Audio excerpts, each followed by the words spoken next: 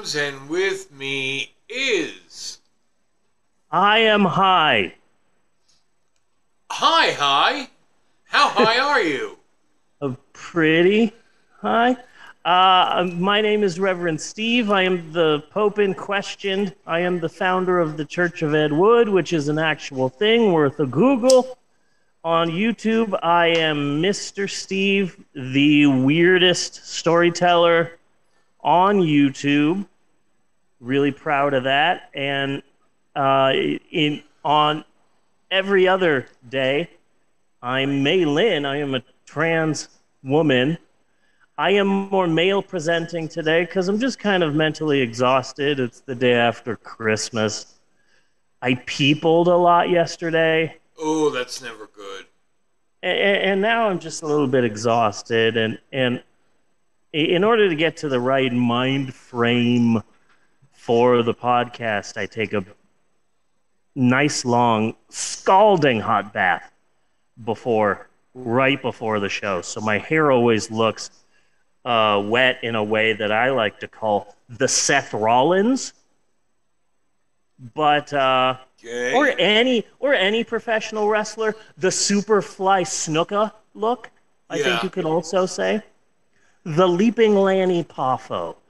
And uh, my wife got me a few uh, packages of uh, THC bath salts to add to the bath, and I used a bit more than I normally do today, and I'm a little bit uh, uh, woozy, but I, I am gonna power through because this is our big uh, holiday episode every year, right right before the end of the year, right around Christmas time, we cover the same movie, and I did the numbers one, two, three, four, five. This is our sixth annual discussion of Santa Claus, Santa and the Ice Cream Bunny Yes. from 1972, shot on location at now defunct Florida theme park Pirate World. And I'm very excited. We do this every year. And once again, I have but thrown every year, every year, it it reveals something new, yeah, something Because- that you haven't seen before. Yes. Something something something fresh. that uplifts the spirit.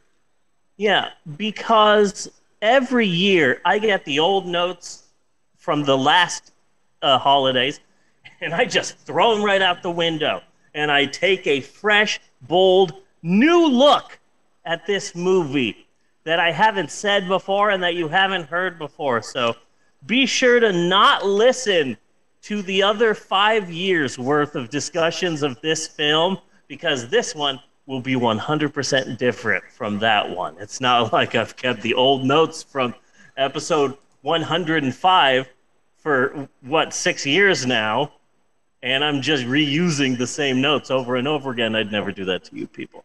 So this is the monologue, and here is what I wrote for the opening of the monologue. Bunny, do you know what the day after Halloween is? The day after Halloween, uh, it is it is All Saints Day. Yes, uh, Dia de los Muertos, which is uh, the day where we celebrate the dead. Uh, but here's something that only real Latinos know. The day after Christmas is a day called Dia de los Christmas, where you are visited by the ghosts of crappy Christmas presents you've gotten in the past. Oh, So like uh you know to to tonight right before you're going to bed. Woo! Oh no, what is that? It's a Flowbee. yeah. Oh god. And it, it has a shake weight. You know, that's what I'm thinking. That like you're haunted by all Well- the Chia pets you let die.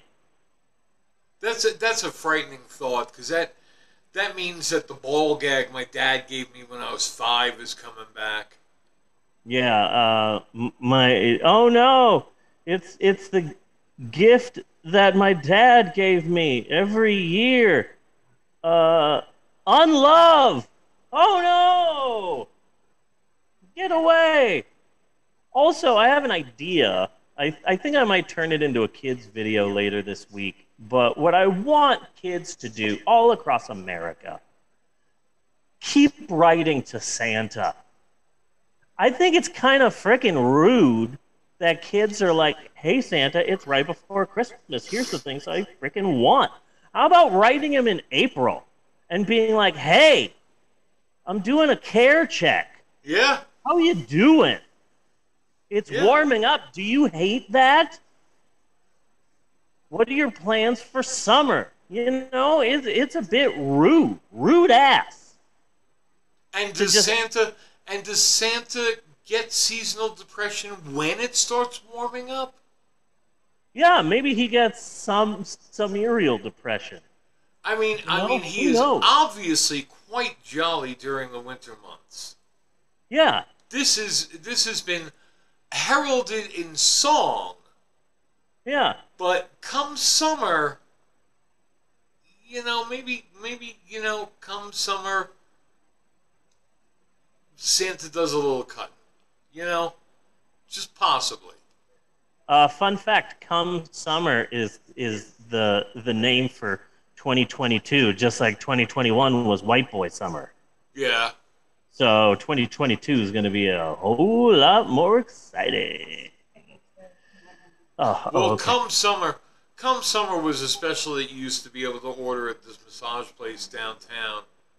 nice. Yeah, and just be like, "Hey, Santa, it's September. Uh, do you like pumpkin spice and stuff? What What are you going to be for Halloween? Do you celebrate Halloween, or is this like pre-production? Yeah. You know, I I just think, I just think that we should be focusing on Santa throughout the year. yeah. You know, what does he do in June? And I when would like exactly know. is Santa's birthday? Yeah, right. That's weird. Does anyone? I see some people in chat. Does anybody know when Santa's birthday is? That's I mean, we pretend that. Jesus is, is December twenty fifth, even though that yeah, that's not exactly correct. But we know Jesus had a birthday. Yeah, that's a great freaking question. Nobody That's ever a- mentioned Santa's birthday. Yeah. Uh so so it's Christmas. Christmas just passed. Christmas was yesterday, and let me tell you what. Uh, I got the best Christmas gift, and I think we all got the best Christmas gift. Just the best Christmas gift ever. And uh, so here's basically a summary of the world's greatest Christmas gift. President Biden is doing a speech, and it's like, "Hey, how's it going? I'm, I'm, I'm President Biden. I'm not that old. Everything's fine. Hey, America, what's this behind your ear? A shiny quarter? Go ahead and keep that. Buy yourself a licorice whip, sonny. so he's like, I'm doing a speech, speech and speech and speech and reading the thing because they don't trust me to say what's actually on my mind. And also, I like to praise uh, former President Trump for Operation Warp Speed. He Trump did a great job making sure that we got this vaccine out quickly, and I just want to give him some praise. You know, and and and uh, President Biden praised Trump just enough for him to become super pro-vaccine in public. Yeah. And now Trump is like, uh, welcome to my rally. I'm really excited to be here. I'm President Trump. I created the vaccine. I just got the booster. Vaccines are awesome, and people are booing him and stuff like it. And now his most ardent followers are turning on him. Alex Jones called him Joseph Mengele 2.0 Yes. in a Yes. special in a special Christmas Day uh, message. And uh, talking head idiot Candace Owens now says that Trump is too old to understand what he's talking about. And so people are and, and that just came on during her interview with him. Yeah, Like like Yeah. there was a light switch and it was like not too old, too old. yeah. So so uh, I found this message online, and I wanted to read it. I, I'm not 100% sh- I think it came from 4chan or a 4chan type place. I'm not sure. It, it was posted on some online forum in a group called Great Awakening, which should tell you a lot about this message. The person who wrote it, his name is JFK Jr. on the cross, which says even more about this nut job yes. and he said the following I have been crying already. Uh, great start. Yes. Great start. I have been crying ever it- since it's President. right up there with like it- was the best of times. It was the worst of times. Yeah, yeah. You know, yeah. it's just classic, classic opening. Classic. Please continue. Yeah. I have been crying ever since President Trump has been on this pro vax stance in the last few days. Here's why. I have been extremely adamant I won't ever get the vax. To, that's my favorite Dr. Seuss book, The Vax. Yeah. I am the Vax, and I speak with a sax. And he starts playing a saxophone. Um, I am a Karen. I'm never relaxed. That's, that's the opening line to Dr. Seuss's The Vax. I have been extremely adamant I won't ever get the vax to the point where my wife left me. Oh My yes. Yeah. My two daughters have completely cut out my two daughters have completely cut me out of their lives. I lost my job because I wouldn't get the jab, and now I've lost the house. Ah, ah, like let me eat your tears, and they shall they shall warm my soul. I have my truck and at least enough money to keep the phone bill paid for a few months. I was okay with it all until this happened. This was all supposed to be for something, right? Now I feel without Trump's support that I've held my ground for so for for no reason. Sorry, end of rant. Life is pain. Praise Jesus. Yes.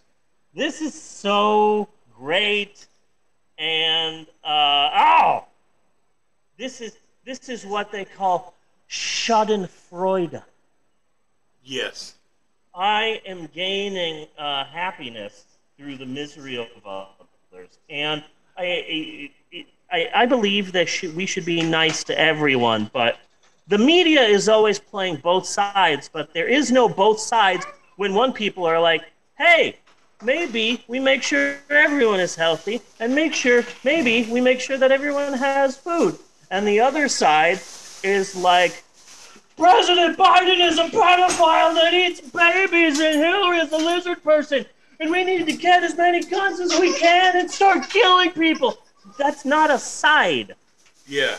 You know, and then the media is like, oh, well, we need to cater to both sides. No, there's one side, and then there's a fucking nut job side, Yeah.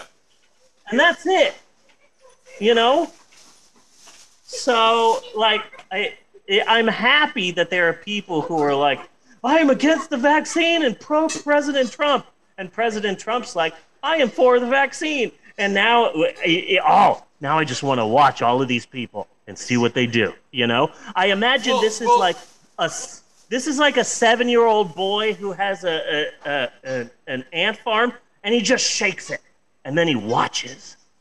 That's this. And, but Yeah. Trump's the one who shook it, and now I'm the one who gets to watch. Well, for the most part, Trump has just been quiet about it. He himself was never anti-vax because because like if you take the vaccine away from him, which he takes way too much fucking credit for, Yes. the bitch got nothing. Yeah. The bitch has absolutely nothing. Yeah. So he can't be anti-vax. Yeah. It's ridiculous. It's absolutely ridiculous. But anyway, that's it for the monologue. Uh, let's. Eh, eh, oh, oh, here, here, here's. Eh, no, this isn't it for the monologue. Yesterday on Christmas Eve, it was 78 degrees. yes. We went to the park. My son had shorts and flip flops on. He was wearing his chanclas. Oh, Freaking have you seen that one meme? I'm pretty sure I, I shared it. Eh, because it's horribly funny. Uh, it was some guy, he, he just said, you know, it's funny talking about kids, what the kids want to be when they grow up. It's 70 degrees in December. You're not growing up. I, I'm worried about the about it being so warm in December because what that tells me is that January and February are going to be uh, like we all live in Superman's fortress of solitude. yes. They're like the warmer this is, that means that like uh, we're gonna we're gonna be singing "Walking in a Winter Wonderland" on Valentine's Day. Yeah. So Oh. worried about that. All the snow will come down at once. Yeah, and then and then you know in the Midwest used to be the place where used to be Tornado Alley, and now Tornado Alley is kind of everywhere. But Yeah. but usually when you were in Tornado Alley, you had to worry about the end of March and the beginning of April, or like uh, March and April, maybe a little bit of May, and then that was it. But now, like tornado season is like March to question mark, Yeah. and it just gets more and more scary each year. So that's going to be exciting. But yeah, the weather is insane. Thanks, climate change. It was weird to go to the store on Christmas Eve and see the bell ringers wearing tank tops. Yes. God damn. Fucked up. No one's talking about it. Oh no, what, what- this is what we really should be talking about. I didn't realize that there were so many boomers out there who are like, let me tell you what's important to me. I want my grandchildren to be playing with a potato head that I know has a penis. Yes. And on Christmas, I want to make sure that my gingerbread cookie has a cock that goes in my mouth. Yes. Like, Fuck off. God damn. Really kind of some weird signals going on there, don't you think? Yeah, yeah. Fucking ridiculous. Anyway, that's it for the monologue. Uh, let's let's move on to some movie reviews. Very excited for these movie reviews. Let's get to that. Cut on the monologue. Uh, buddy. Yes. So I have the AMC A list, and what that is is a subscription service where for $19.95 a month, it's uh, uh, more money in bigger markets, but I live in the middle of nowhere, Oklahoma. For $19.95 a month, I get up to three free movies a week. And so from December 2019 to March 2020, I saw a whopping 177 different movie showings in a 66 week period of time. Do the math. I, I, I'm interested to, uh, you know, I've got a four year old and he's, he's doing virtual school at home and I'm teaching him. And a lot of times I just want to be like uh, Maxwell's like, I'm having a hard time with this math problem. And I'm like, okay, let me show you how to write it out. Okay, this is how you write it out. Let's get a piece of paper, let's get a pencil, and we're going to write it out, and we're going to write it out. Fuck it, use a calculator. And the reason why I say that is because when I was a kid, it's like, no, get a piece of paper, write it out. I need to see your work. It's not like when you grow up, you're all going to have calculators in your pocket. We all do now. So fucking use a calculator. It doesn't Yeah. matter. We all have Google in our pants. It's ridiculous. It- it- where did that come from? Oh yeah, 177 movie showings in a 66 week period of time. Do the math. I don't know. Then the pandemic came around and done messed up my streak. But uh, now movie theaters are back open uh, for now, and so am I. So it's time once again for some up to date movie reviews with Steve Stubbs of the Week. Dun dun dun. That was nice. Uh, this week's installment of Steve Stubbs I got, represents I got my. lost in thought for a second because I was thinking because you have a specific opening for each Mhm. of the bits. Yeah. But what if we shot it more like a TV opening? You know, and and just make it like a little TV opening, and then we would just play it at the opening at the opening of the bit. That's a really good idea. Maybe this no, week. it's just an idea. Let's not give it really good. It's just an Yeah. idea. But there it is. That's why my brain was stuck. As it often gets stuck on just weird ass shit for no fucking reason. Yeah. Maybe this week. Okay, this is what I'm going to try and do. This week, while I'm going to movies, I'm going to record myself at or around or near the movie theater saying the opening. Yeah. And then I'll edit it together and see how it looks. And if it looks, if I can make it look decent, I'll shoot it to you and we can have a nice glossy uh, opening. Yeah. So we'll we'll see. For Steve Stubbs, that might work. That might actually work. A man or woman on the run. yeah. So this week's installment of Steve Stubbs represents my like kind of look around, make sure nobody's watching you before you walk into any particular theater. I'm really thinking Quinn Martin. Oh, I'm thinking more of just uh, like a like a YouTube opener. Hey, I'm Steve. I have the AMC A list. Let me tell you what that is. My life is pretty crazy. That's what I was thinking. My mother met my father, and then they had me. Hi, I'm Steve, and my life is pretty crazy. That's what I was thinking. Um, this week's installment of Steve Stubbs represents my 26th week back in movie theaters, and in that time, I have seen 47 movie showings. I only saw one this week, but I did see the new Matrix movie at home, and I want to talk about it. I try to avoid movie theaters in and around Christmas because everyone and their freaking grandma goes to the movies on the holidays. Yeah. A- a- and it, it, Amber said, "It's like, oh, we were thinking of going to the movie. Are, are movie theaters open on Christmas Eve?" And I'm like, "Honey, they're open on Christmas Eve. They're open on Christmas Day. They're open on New Year's Eve. They're open on New Year's Day. They're open on Thanksgiving, and everyone goes, But you doesn't have to call me Mr. Johnson. huh?"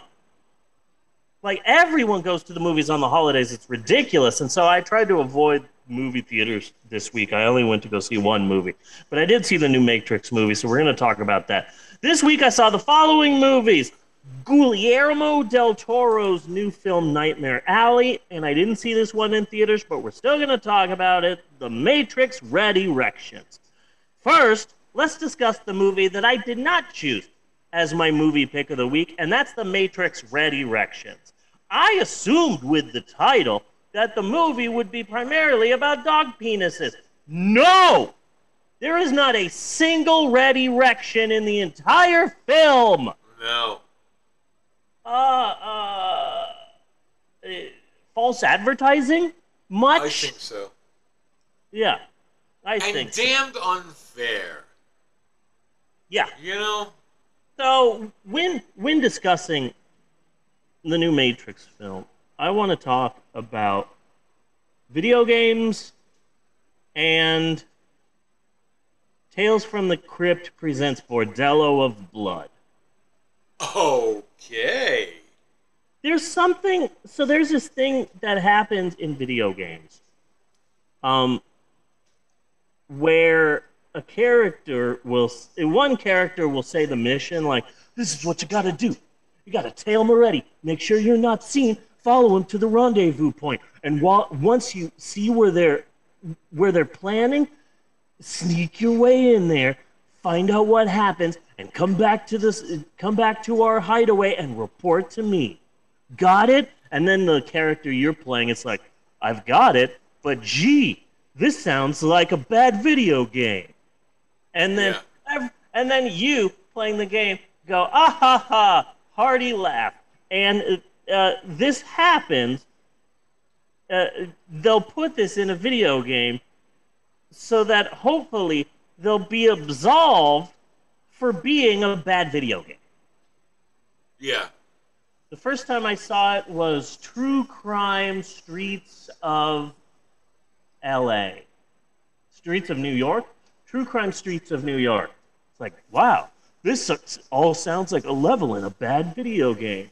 And then Yes. it, it, it does happen more than you would realize.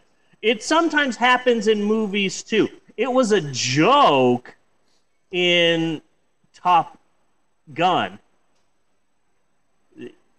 I understand. I'm not the first musician to fall in love with a girl, only to realize that Yes. she is a part of the French Resistance, who, and then all of that. It all sounds like some bad movie, and then they look at the camera.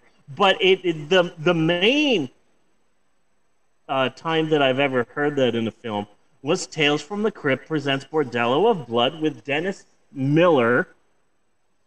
Uh, one of the worst Dennises. Yes. Denis Leary is is the best. Hell, Dennis On a scale from Denis Leary to Dennis Miller. Yeah. Sometimes I just automatically want to say Leary, but no, it's Dennis Miller. And the thing is that I remember as a young kid wanting, staying up, and in order to watch Weekend Update, because I thought that Dennis Miller was like the coolest fucking guy on the planet, and he Yeah. was always sticking it to the president and sticking it to Republicans. And then he had a, a, a talk show on HBO uh, where he would, I'd hate to go on a rant, and he would go on this monologue against like politics and all of that. And and now he's that he's older, he's like a far right Fox News talking head type guy. And it's like, what happened to cool young fucking Dennis Miller? Yeah. It's like, He- fuck. he's that one of them who, who got the living shit scared out of him over 9 11. Yeah. Yeah. It, it's, it's fucked up, is what it is. So it, went, So in it that- all went out the window so that he can handle his fear. Yeah. I mean, let's It- face facts. Republicans are all fucking fear based. Everything Yes. about them is Yeah. what they're fucking afraid of. Yeah. You know? Fully oh, but this is Steve's Yeah. movie stubs. Let's save that. We can revisit Yeah. that. So yeah, he says that like they're going through a warehouse, and it's dark, and they've got flashlights, and it's like, wow, this looks like a scene in a really bad movie. Uh, with that, with all of that in mind, The Matrix Resurrection is the most meta fucking film in the world. It starts off with, oh Jesus, wow, uh, loud noise alert. It's the opening scene. It features different actors acting out line for line, shot for shot, scene for scene. The opening of the first Matrix film. yeah. So it's the first Matrix film again. And then as the actual film opens up, uh, you see Neo, but he's back in the Matrix, and he's Thomas Anderson, and he's a video game designer, and he's world famous for having designed these three popular games called The Matrix. And you see footage from the video games, and it's just the movies. And it and in in the movie, in the movie, The Matrix Resurrections, Thomas Anderson, the creator of the Matrix series, is being pressured to make a new Matrix. And there's all this debate about, oh, maybe we shouldn't make a new Matrix. Uh, sequels are just retreads of the originals, and that's what this is. And there's okay, so many. Wait, wait, wait. So he It's- is he. they're most trying to get him shit. to make a, a new Matrix, not a new Matrix game.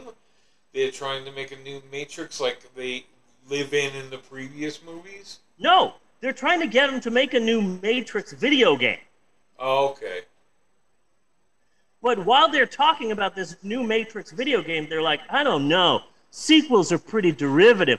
Nowadays, it's just a bunch of fan service. People want to see the same thing over and over again. Maybe we shouldn't do that. Oh, but maybe we should. Maybe we need to give the fans what they want. And it's too meta. And it's it's the exact same thing as Dennis Miller saying, "Oh, this sounds like a scene from a bad movie and Tales from the Crypt presents Bordello of Blood." I think I might be the only critic who will tie the new Matrix film to Tales from the Crypt presents Bordello of Blood, but it feels like the Matrix is going fucking hardcore on meta in order to become critic proof to critics saying this is uh, uh, just a rehash of the original. You know? Okay. It's like if The Force Awakens in that movie, Luke Skywalker becomes so famous that they make a movie called Star Wars.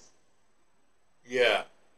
And in The Force Awakens, they're like, huh, maybe we should make another Star Wars film here in space. I don't know. A lot of people nowadays just want to see the same shit. And, and I just feel that this Matrix movie is. Uh, nowadays, sequels are just fan service. And I'd hate to go back to the Ghostbusters, Yeah. but like, uh, uh, Paul Feig was like, hey, we're making a Ghostbusters film, but we're not just going to give the fans what they want. We're going to do something fresh and new and original. And audiences, cough, cough, uh, uh, toxic white males, cough, cough, all the fanboys said, we don't want anything new. We just want the same old shit. and so Dan Aykroyd and uh, what's his nuts, uh, the guy who directed the first one's like, "Don't worry, fans, we'll give you what you want, the same old shit." And that's just the standard for reboots now. It's it's just fan service the movie. Bill and Ted, fan service the movie. The Force Awakens, fan Yeah. service the movie. Ghostbusters, fan service the movie. Matrix Resurrections, fan service the movie. And so and, that's and, and especially with Bill and Ted, man, I really, really, I, I, I thought with as huge of a gap in time we have, that gives you the opportunity to do something completely unique with Yeah. the idea. And yeah, no, they didn't. They made another Bill and Ted movie, except they're old now. Yeah.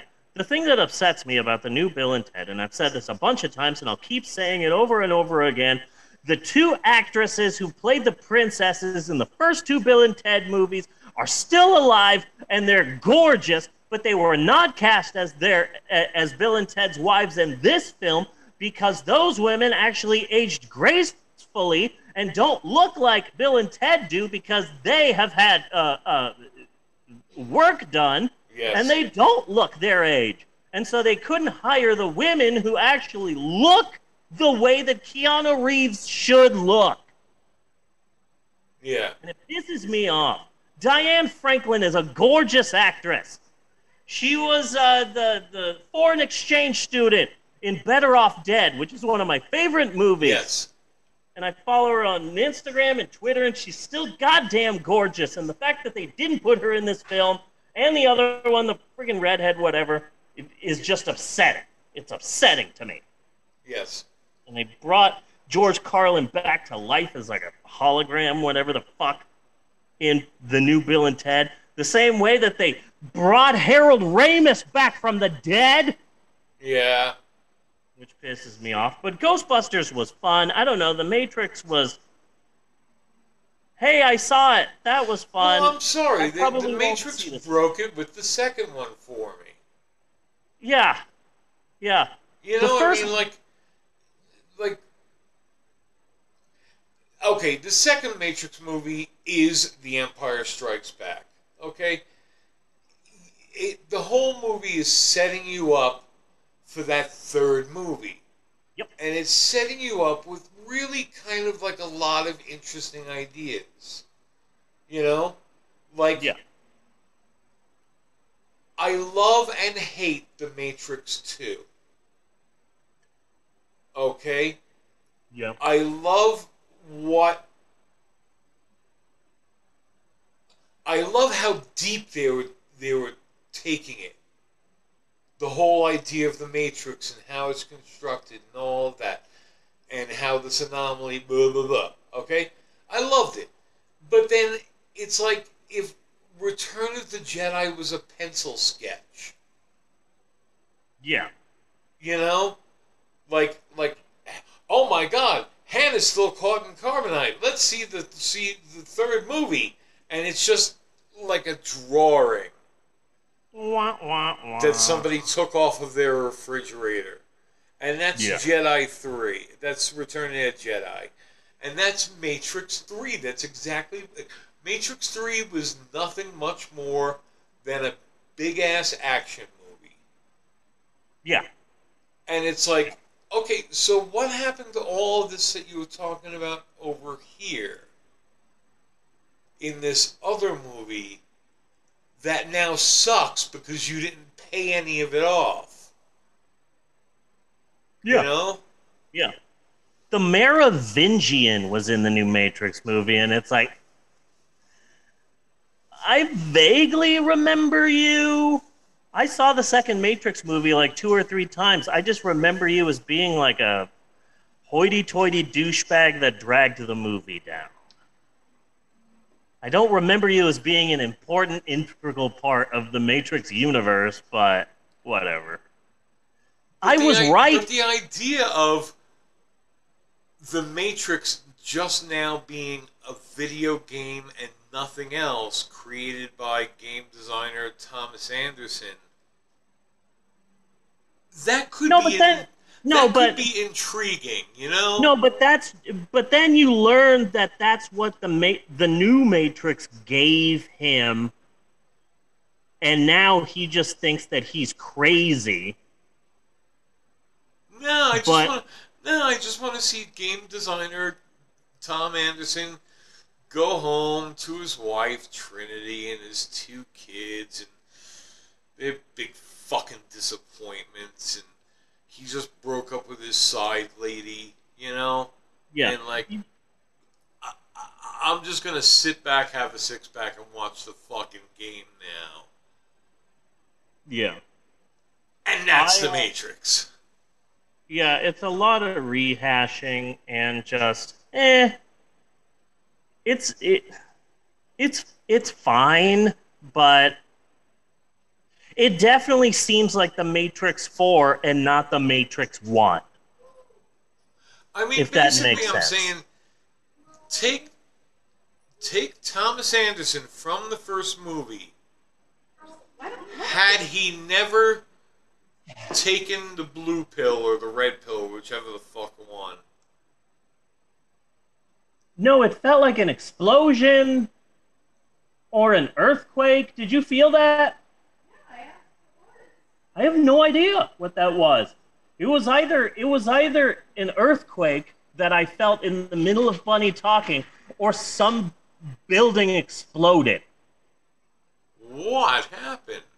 I don't know. You were talking, and then suddenly out, out, like I felt the earth rumbling and what sounded like a freaking explosion.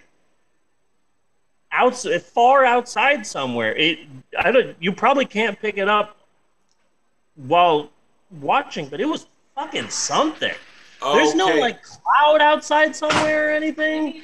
So in about two minutes, maybe let's see if we hear sirens. Yeah, because that was something.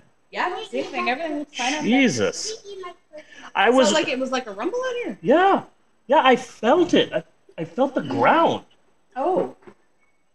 Then it must have been closer to this side because all I heard was sounded like somebody dropped something against the wall. Like, Oh no, nothing. I felt it down here, and I could hear it out there. oh, no shit. Buddy's right. Let's wait and see if we hear Yeah. sirens. Fuck. I was right about uh, Neil Patrick Harris's character. I don't want to say what, but I will say this. My dad used to have this book, and it was like the big book of rules of thumb. And they interviewed all of these professionals in different fields, and they asked him. They asked, and the the author, the compiler, just said, "What are rules of thumb for your business?" And I used to flip through it all the time as a kid, and and like there was a, a person who worked at theme parks, and he said, when you go into a theme park, uh, human beings are, are are like subconsciously trained to. I am entering. I will walk on the right side, just like traffic, and that side gets congested. So if you want to go through the park a little bit quicker, walk on the left side once you enter a theme park. There will be people walking uh, uh, towards you, but they will part when they see you, which will make it quicker to walk. Not right now. Than by walking on the right side with everyone else. And one like a act like either a screenwriter or a playwright said in a mystery it's always the best actor who did it. And i'm like okay here are all these people in this movie. Ooh neil patrick harris plays a psychiatrist. I have a theory as to who he is and my theory was right. So yay! I was happy about that. Okay. so that's the ma- so that's the matrix red erections uh Yeah, I'm Eh. in a hurry. yeah, it's fine. I'm glad. I'm glad I saw it at home and not in a theater because I could like watch 45 minutes and then pause it, go get myself a drink, go to the bathroom, complain about it to my wife, and then go back and see it some more. You know, so I was happy about that. If I had seen it in a theater, I would have been like, oh, fucking yeah. So that was the Matrix Red Erection. It's as fine. And finally, the Steve. Okay, but now, now, have you revisited the original Matrix? I saw it in theaters like I- two. Because now I am hearing, and it makes perfect sense to me, but I never thought of it, and it obviously must be going straight over my head. All the transgender references in the original Matrix movie. Yes, and that's why I feel bad about saying shit about this new Matrix movie because the first Matrix film really is a trans analogy, and I see that, and I love the first Matrix film, and I really like it.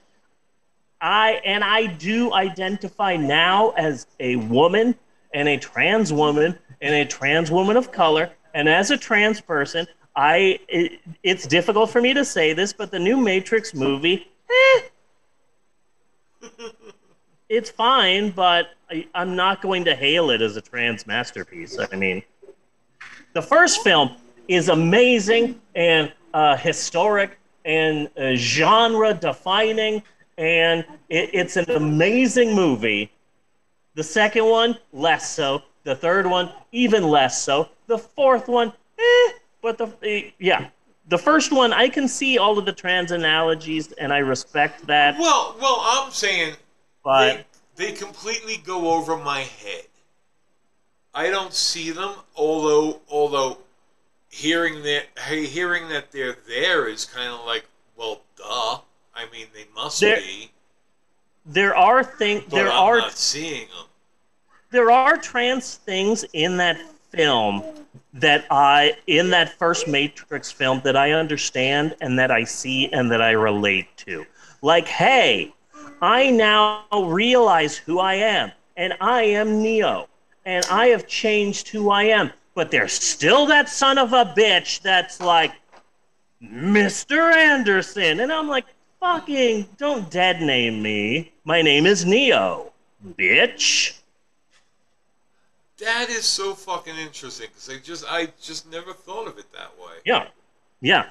there That's there's cool. definitely some trans shit in the Matrix film, Yeah. and And- also and see, and that was, and that's why I wanted to bring it up because it's kind of been bothering me because like, it makes total perfect sense that the transgender people who made this movie may have transgender references in it. You know? and realizing realizing you're trans and changing your life and changing who you are is a lot like you live in this comfortable nice fake world that you feel trapped in and suddenly you're in pink goo and you don't know how to walk you don't know what food is and you don't know who you are and it's a, a slow long process to getting to be who you really are. Yeah. so so yeah there, there's a lot of trans stuff in that first matrix film. The second matrix film is just uh, orgies in a cave. Yeah. and fighting on a freeway. But the first film there's a lot of that shit. And i see that now. And i noticed that two weeks ago when i saw the first matrix again in theaters i'm like okay there's this okay there's that all right there you go i understand that I'm, I'm gonna have to give it another look with that in mind now. yeah I mean, Yeah. it- it's it's a it's the the first one was was an absolutely amazing movie, and Yeah. completely breakthrough, and Yeah. very fresh. yeah You know, but it's it's also like one of those ideas like. It floats around for a while, and it's just kind of out there in the zeitgeist. That sort of idea, like then a movie like The Matrix does it, you know, yeah and shows you what you've always kind of thought anyway. You know what Yeah. I mean? Like, it's always been kind of an idea that reality is not reality yeah in one way or the other. But it's really rarely been done. yeah You know, so like the Matrix winds up being like really new and kind of old at the same time. I thought of this our Christmas tradition is to watch Guardians of the Galaxy and Nice. Guardians of the Galaxy 2. So when they are actually having war through video games, that's not like like why have we not seen this a whole lot more in movies? yeah But this is basically the first time that we've actually seen it. yeah but also Last yeah, Starfighter does not count. yeah it's it's a new idea Am I too high? Am I just rambling? Am I making any kind of sense? You are pretty high, but um, it, it's a new. i- The Matrix was a new idea for movies, but also it wasn't that new, because I feel that a lot of the Matrix hadn't been seen in in cinemas, but also I feel that a lot of the Matrix was. I've got a great original idea for a movie. What if David Icke was right? Yeah. So I, I, I feel that, that the, a lot of the Matrix was just that. Well, You know? no, because let's face facts. David Icke stole it from the fucking Matrix. Well, well, I it's some some of that shit predates the Matrix film. yeah. Some of it, but anyway, yeah, you you really should rewatch the Matrix uh, with uh, a trans mindset because there's a lot of shit there. Yeah. it, it, it, there's even there's even specific lines that like call it out like i am trinity. Really? Are you surprised? Yeah i thought you were a i thought you were you would be a man. Well, yeah most men think that. You know? Like okay there you go. That's some trans shit. Yeah. It was it was weird for me to have watched The Matrix my entire life, and then two weeks ago, me put on my my chest and put makeup on and do my hair up and get dressed in my best female outfit and to have Maylin go out to the movies and watch The Matrix because a lot of it was just like, ooh, I am noticing things. This must have been what everyone was talking about. Okay, then. But when I watched The Matrix, I'm like, oh, a new Matrix film. This is going to be great. Okay, it's just a sequel. All Yeah. right, then. It, it felt like The Matrix 3 revisited, you know? And it's like, okay, that's a little bit disappointing, but whatever. And finally, the Steve Stubbs movie pick of the week is Gizmo del Toro's new film, Nightmare Alley. I call him, I, I, I want to call him Gizmo del Toro because there is, it, Guillermo del Toro is famous, but in my mind, there's only Yeah. one Guillermo, and the vampires call him Gizmo. Yeah. So I'd like to, from now on, call this director Gizmo del Toro because that Uh, makes I. I, I, th- I think it's a term of respect. yeah, I think so too. Gizmo del Toro's new film Nightmare Alley. Because It's the other Gizmo is cool as fuck. Cool as shit. Cool as shit. And he's gay in real life. I'm hoping that eventually he, his character comes out as gay in the TV show What We Do in the Shadows. But until that happens, I'm just fine with him being the like Mr. Smithers to his vampire C. Montgomery Burns. I I feel I feel toward him the exact same way I felt toward Willow on Buffy the Vampire Slayer. Nice. Like okay. like it's not like a sexual thing. Like in both, I just want to hug them and be really really nice to them. You know. yeah. That's it. That's I, I, just want to I just want to be really kind to them because they both Yeah. look like they really just need it. You know. Yeah. Yeah, I get that.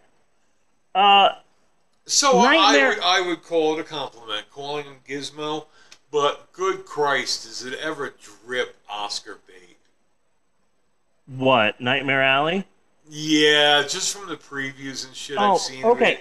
I'm like It's- I'm like immediately turned off by its Oscarness. Okay, well, let me tell you. Let me tell you. I'm gonna I'm gonna get you back. It's an old time carny sideshow movie. Yeah. It it is.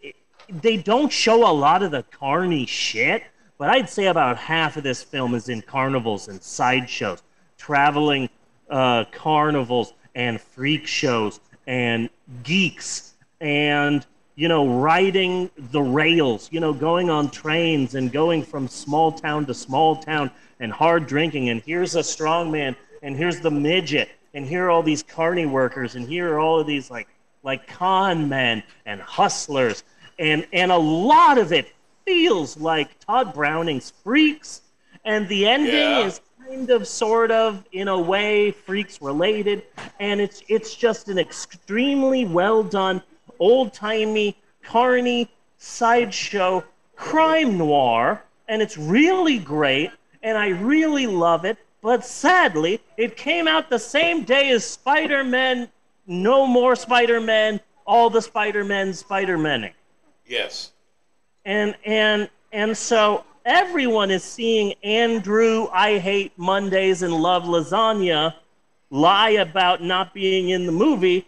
Everyone's going to see the new Spider-Man, and no one is going to see Gizmo's new movie. And it's just sad because this is a really good and well done, captivating, carny noir film. And it's really great and i love it and it's about this guy and he has this mysterious past that you eventually learn about. He's trying you don't know who he is. He's like hiding his identity and he's riding the rails going from town to town looking for a you know a way to start fresh and he sees a carnival and he gets a job there and he he tries to reinvent himself and eventually he comes under the tutelage of this fake uh, psychic that's just hustling people as one of the sideshow acts Yeah. and one of the rules is Like, never do a spook show. What you're doing is you're, you're getting some money, tricking people, having a fun time, doing fake uh, uh, psychic readings. Don't lie to people. Don't don't say, "Hey, your your dead mother is here and her hand is on your shoulder and I'm going to tell you this." That's a spook show. That is horrible. And it's one thing to be like a carny act uh, in the, sideshow act in the traveling carnival. It's another thing to do a spook show and never do a spook show. But uh, what's his name? Um, uh, Bradley Cooper. He starts doing spook shows, and the last like 15, 20 minutes of the film are just balls out insane. But it, it, it's a it's carny noir, and it's really really good. But sadly, Spider-Man did the filming because this has a huge budget, sixty million dollars. Some big names are in it, but it has only made four million dollars at the box office on a budget of $60 million. No one is going to see this. So, yeah, it does look like Oscar bait, and it's going to be nominated for a few Oscars. Maybe Bradley Cooper will be nominated for something. Cate Blanchett's in it, and she does a great job. She'll be nominated for something. Maybe a Best Supporting Actor will go to the Green Goblin, who's in both films. Good for him. Yeah. But um, if this film was released pre-pandemic, it would have been great. If this film was released anytime besides right next to Spider-Man, it would have done great, and I think it would have been more of a hit. But sadly, Spider-Man did it in. I saw the, the movie came out on Friday. I saw it on Monday. Yeah, no but- one was at the theater. Why do you fucking open a movie against Spider-Man? Just I don't- Why? I don't know. I, wait, eh, Fear and Loathing in Las Vegas opened the same day as Matthew Broderick's Godzilla. Yeah. And that was Terry Gilliam's idea. And his idea was you don't want to be seen leaving the theater for Godzilla, but you will want to be seen leaving the theater for a Hunter S. Thompson movie. And it's like, okay, I get that and I understand that, but also, if you know everyone's going to see this movie, I understand you thinking I'm going to be counter programming, but Yeah. that's just going to fuck up your budget. That's going to fuck up your box office gross.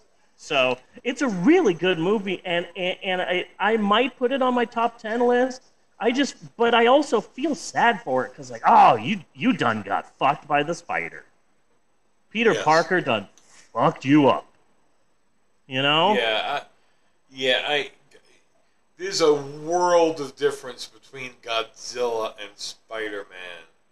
Matthew Broderick's Godzilla. Let me preface.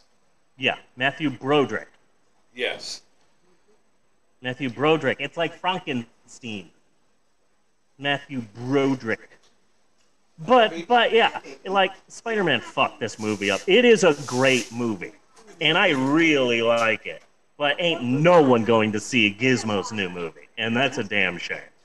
That is Yeah. a damn shame. So uh I don't know. Maybe I'll give it another. It, uh, it's just it's the Oscar Beatty Shape of Water, Pan's Labyrinth, Guillermo del Toro that I'm not particularly in love with. But I can't stress enough how much of a carny film this is. Yeah. You know, Uh, you know, it feels. It sometimes it feels like a modern day, like not a modern day freaks, but in that world, you know, Yeah. of just, you know, these carnies, and they all know each other, and they all are a family, but also they can't trust each other because they're all kind of fucking bastards. You know, Yes. a lot of people with drinking problems and with drug problems and, and uh, oh yeah here's how you get a geek to bite the heads off of chickens. Here's how we trick people into doing it. Here's the here's the underbelly. Here's the drugs. Here's how you con a sucker. Here's how you find a mark. Here's how you read you know idiots. And it, it, so much of it is just that you can smell the carny that that they're in you know? Yeah. And it's just so good. But the movie just shows like Oscar baity stuff, but it, you can tell that Guillermo del Toro, you know, knows his carny, freak show, carnival barker type shit, and it's, it's really fucking fun. Yeah. It's a fun ass movie. But Spider Man fucked it. The Matrix Will, fucked will it. I have to? Will I have to watch Santa Sangre to understand it? Huh? Will I have to watch Santa Sangre to understand it? Oh, no, not at all. Not at all. It takes a while to understand what you're watching because it really just throws you into the deep end of like, here's this guy. Who who is he? You have no idea. What's his name? Not telling you. What did he do? You have no clue. Watch him struggle for 15 minutes. And I'm like, wait, who the fuck even is this person? So it takes a while for you to get your footing. But Yeah. once you get to the carnival, it's just like, oh god, this is great. This is fun. I love it. You know, a, a wonderful film. Really love it. It Well- might make my top ten list.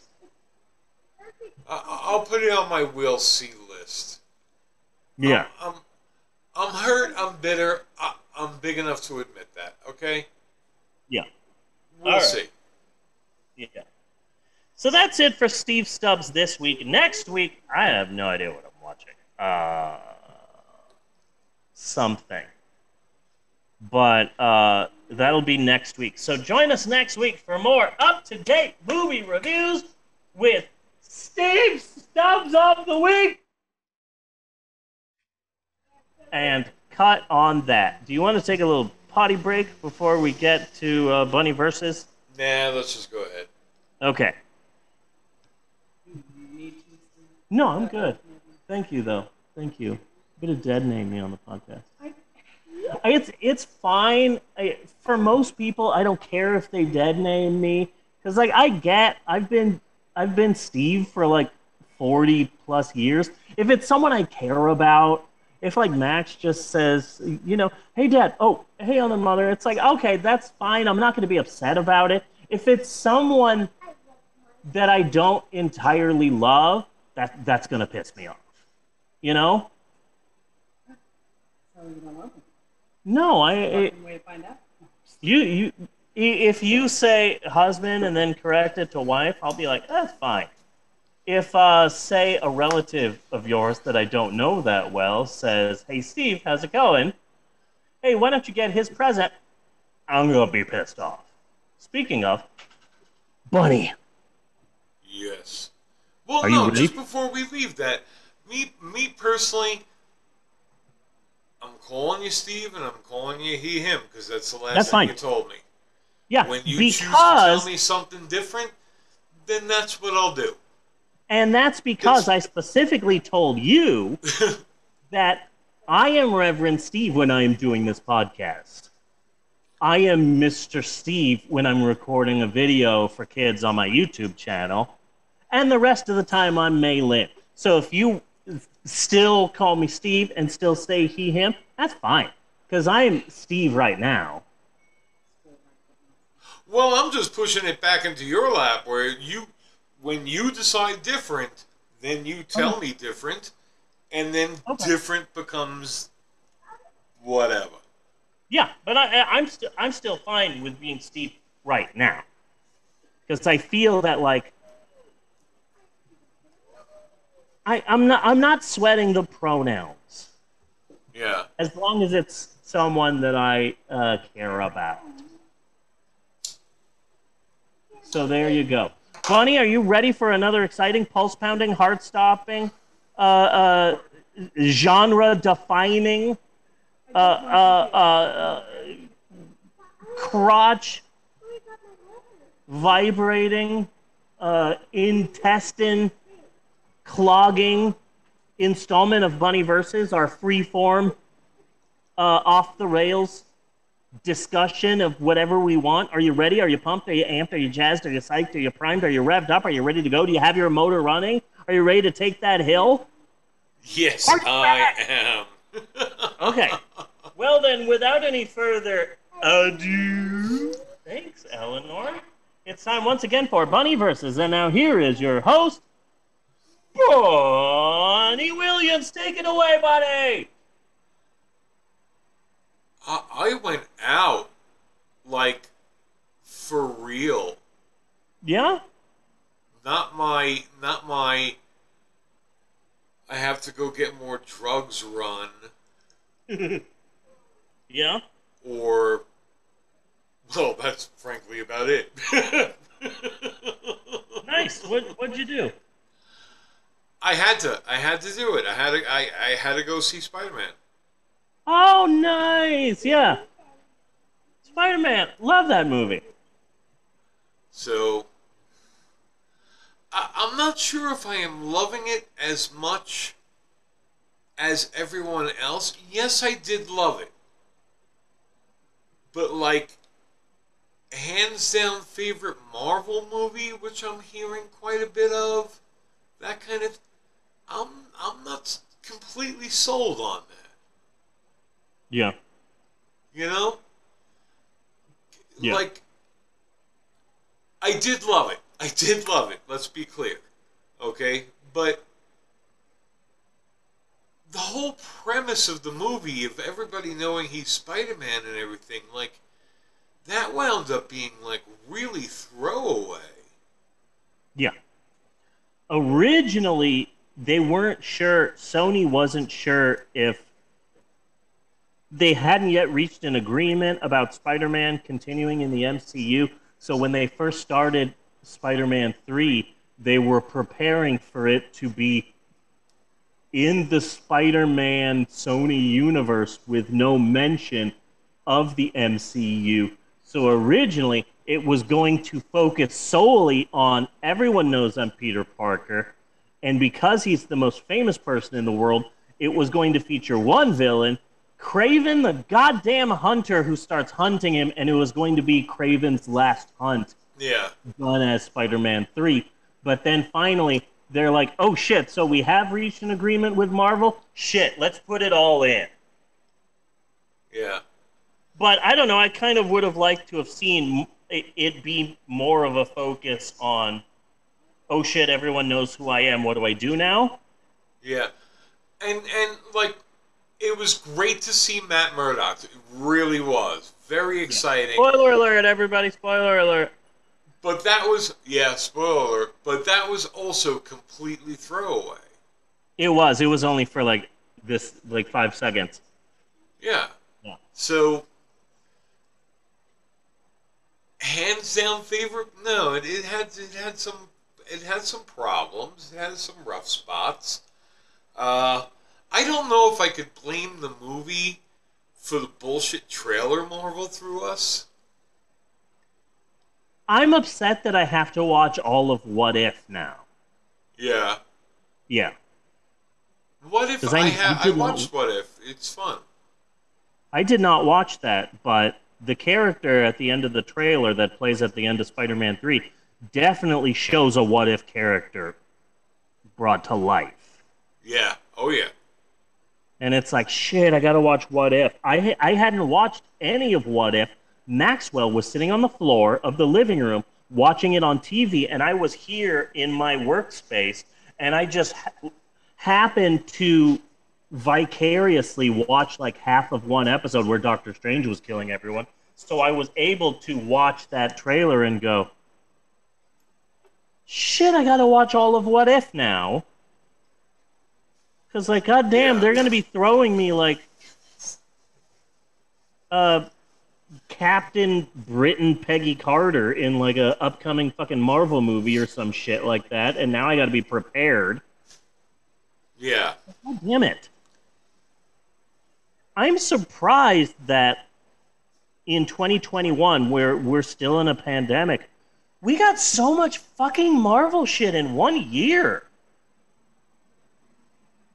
Like, we got fucking WandaVision, fucking Yeah. Loki, fucking Shang-Chi, fucking uh, Black Widow, fucking Eternals, fucking Spider-Man, fucking Falcon and Winter Soldier, which had its moments. Like, Yeah. we got a lot of fucking Marvel shit this year. God damn. Yeah. but we're hungry for the big ones. Yeah. Yeah. And it's weird because like Shang-Chi was good and I liked Spider-Man, but the other Marvel movies made me feel like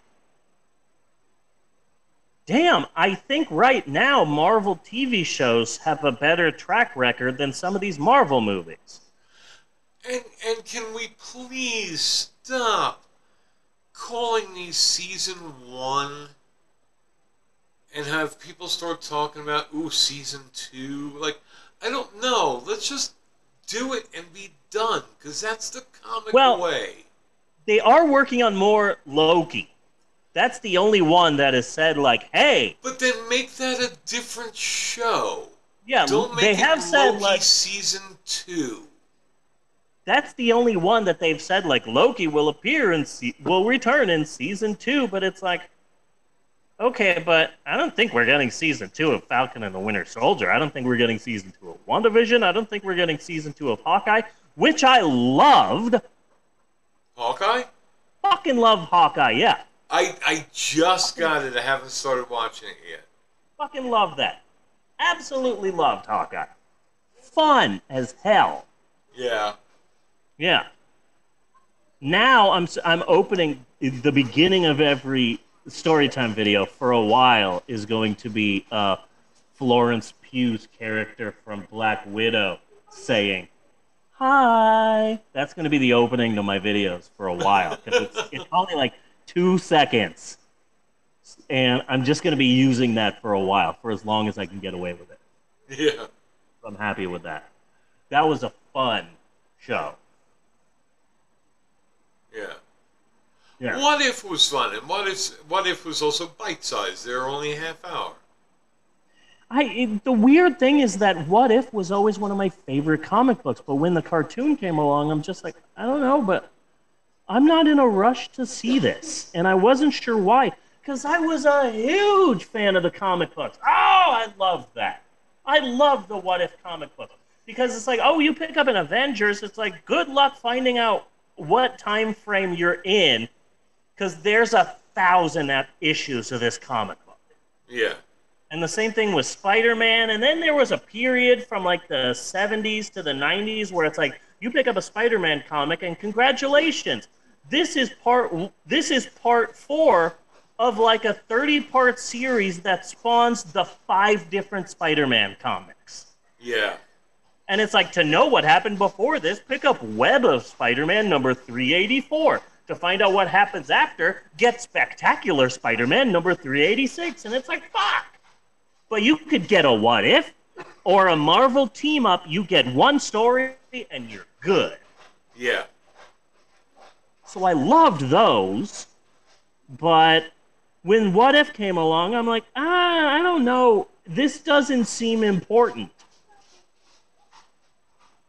But but now that I see the trailer for the new Doctor Strange, it's like shit. What if is important? Now I got to sit down and watch this fucking thing. Uh,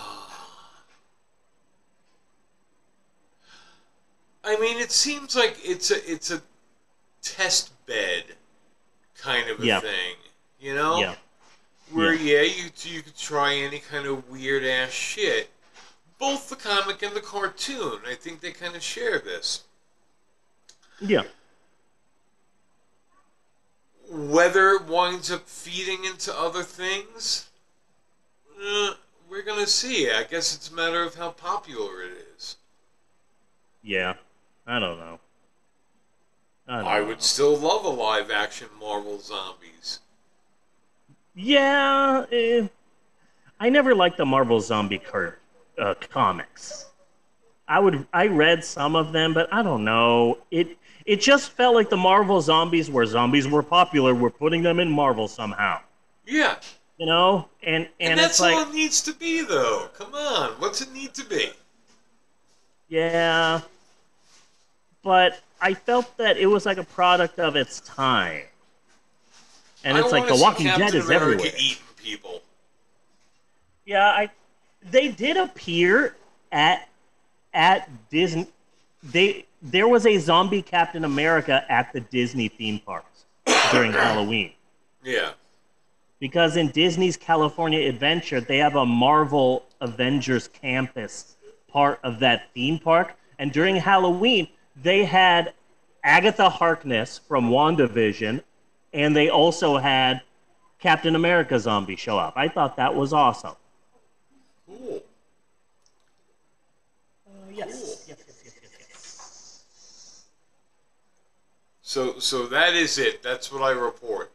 I went out and there were people out there and I still don't like them. People suck. There you go. We should be casting. Uh, so we had a lot of people over for Christmas. Yeah? Yeah, that was surprising, especially since last year no one was over for Christmas because we were still in the pandemic and we had just gotten over getting the freaking coronavirus. But this year we had a lot of people over for Christmas. They were all vaccinated.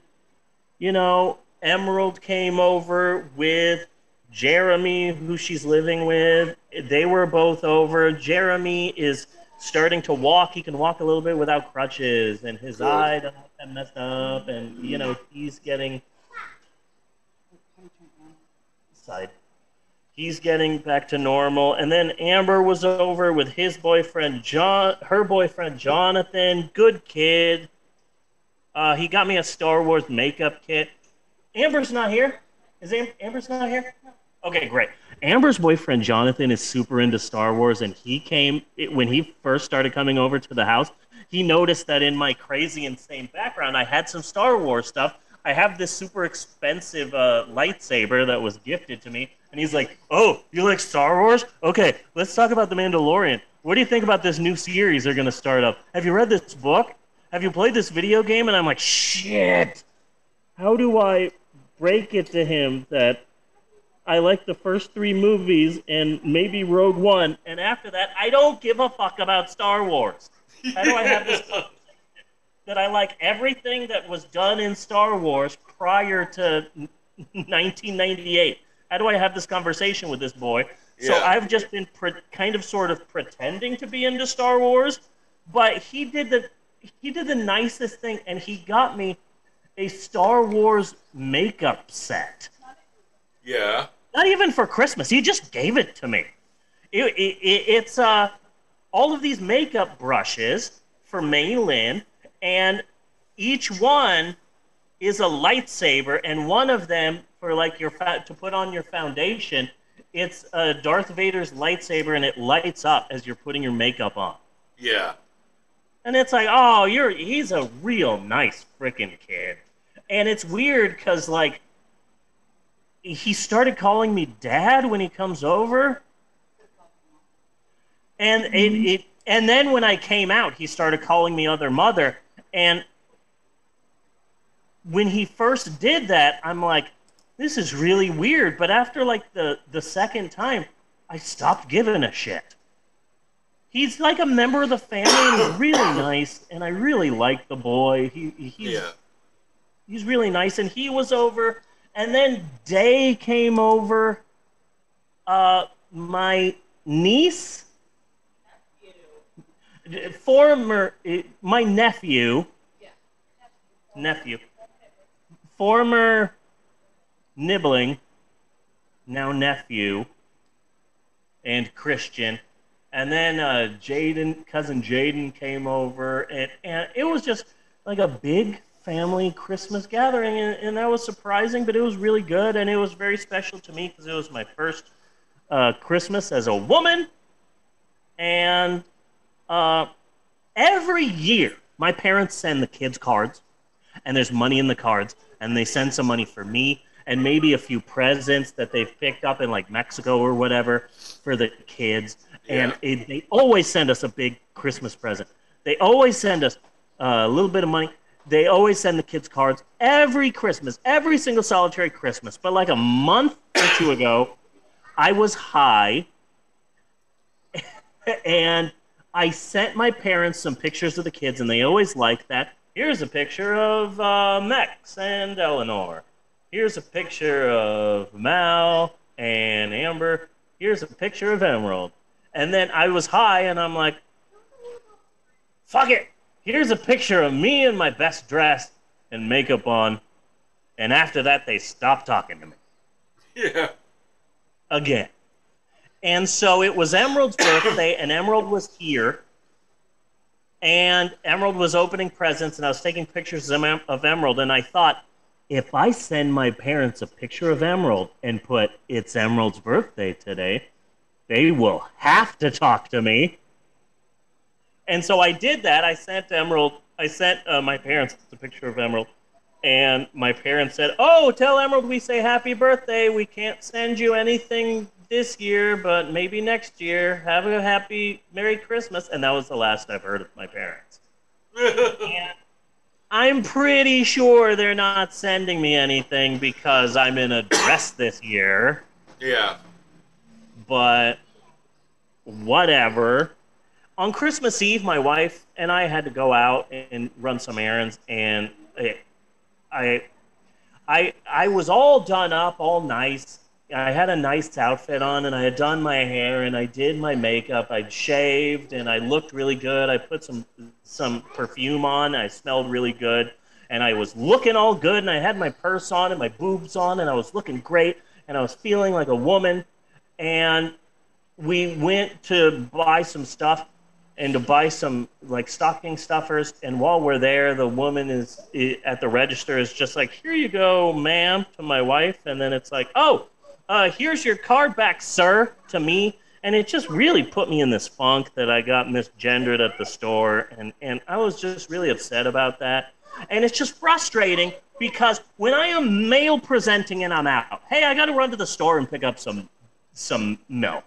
Okay, Yeah. I'm not going to get dressed up. I'm just going to go, uh, you know, male present to the store. That's going to be fine. So I go and I, I don't have my boobs in. I don't have makeup on. My hair's all ratty. I'm wearing like a like a just some random T-shirt, and I go out and I, I want to get past this old guy, you know, at the supermarket, and the guy says, "Oh, I'm, I'm very sorry, ma'am. Here you go, ma'am. Have a have a great day, ma'am."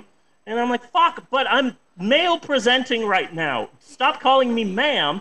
But then I go, "Okay." Well, this is what I'm going to do. I'm going to put my makeup on and my boobs on and, and a nice necklace, and I'm going to look great. And I'm going to go out and everyone gives me cert, and it pisses me the fuck off.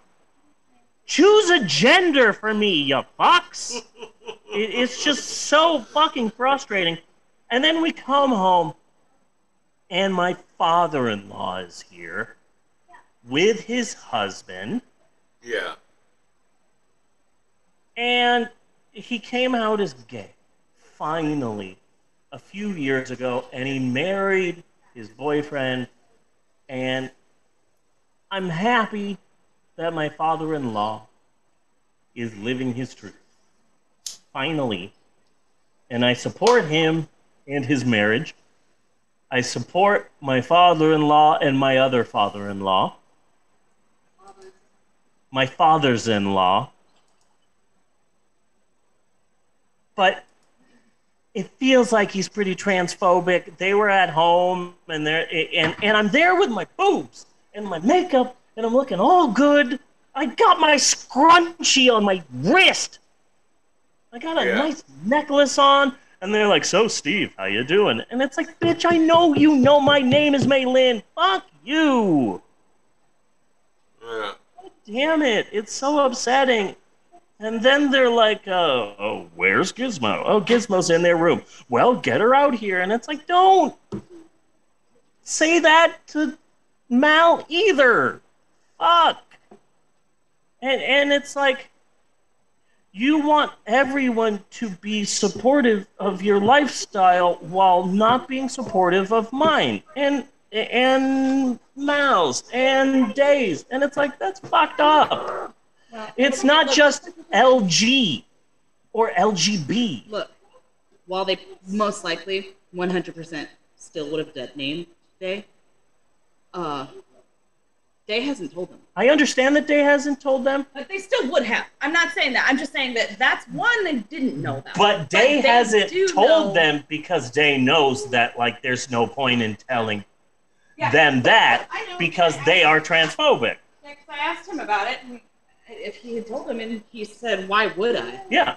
And. I was like, "Damn, yeah, right." And and I understand why Day did that because I did tell them and they don't care. Yeah, or they make a face. So that was fun. But it was but still it was a nice it's so so I tweeted about this. Yeah. I tweeted about this on Twitter and it's got a few likes and uh, a little bit of this and that. But you know who's who wrote a really nice thing of acceptance to try and make me feel better? Mr. Lobo. Yeah. Yeah.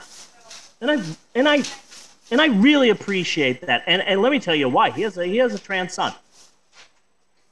And I I I used to know that son Before they were, before they realized. before they realized that they were trans. Before before the transition, uh, we used to hang out at Mr. Lobo's house back in Sacramento. And so the fact that like They were they were a kid's buddy. They were Mal's buddy, yeah.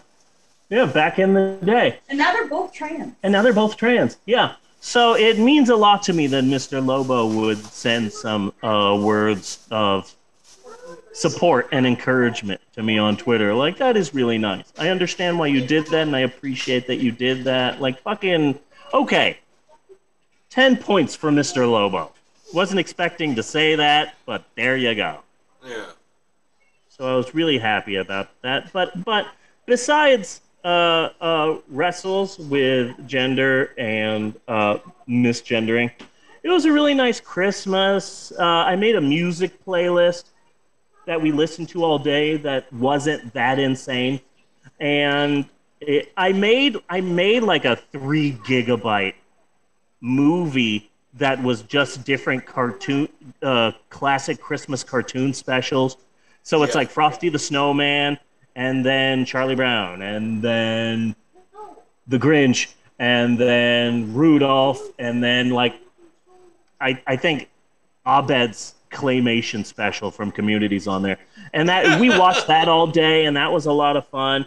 And I have this this holiday tradition where there's this Oklahoma brewed sour beer. I think it's called Slush. Yeah. and it's like a sour it's like a strawberry lemonade sour beer. And i i only drink it on the holidays. And it's just my one little tradition of myself. And it's like oh it's christmas time. It's time to wrap presents and drink this weird sour beer it's like my third year drinking this weird sour beer so i had a good christmas how was your christmas bunny It was nice. We're getting ready for this holiday th- thing. So that's in a week. So it's like final preparations because, you know, you make the calls for the holidays and then there's, there's arrangements that need to happen still. That kind of thing. yeah And things Yeah. to work out. So it was nice. Nice. That was good. That's good. It was nice. We had a nice prime rib, which was fucking delicious. Did you pour uh, a glass of water on it? A glass make it a sloppy water. steak? What? Yeah, make it a sloppy steak. You didn't have sloppy steaks? No. Oh, okay. I love sloppy steaks. Big rare cut of meat with water poured on it makes the night so much more fun. After the club, go get sloppy steaks at Truffoni's, and the waiters say, "Hey, no sloppy steaks." But they can't stop you from ordering a steak and a glass of water. And next thing you know, we're pouring water on those steaks. That is sounding so familiar, and I'm not It's- placing it.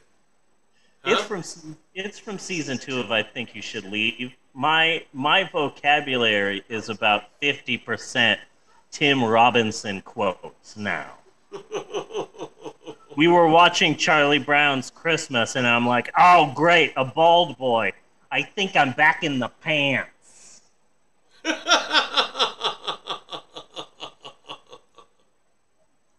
And it's like I ate so much food that I feel like I'm a chunky. I'm gonna take away your points and make you wear your own hat.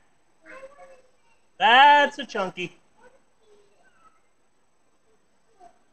I'm also quoting. Uh, I got really upset in uh, on on Christmas Eve because we're staying up and and we're getting ready for Christmas and Mal's sitting on the couch and and it's like, oh, I've turned on Netflix. Maybe I should watch something. And I'm just here in the corner going, smash, smash, smash, smash.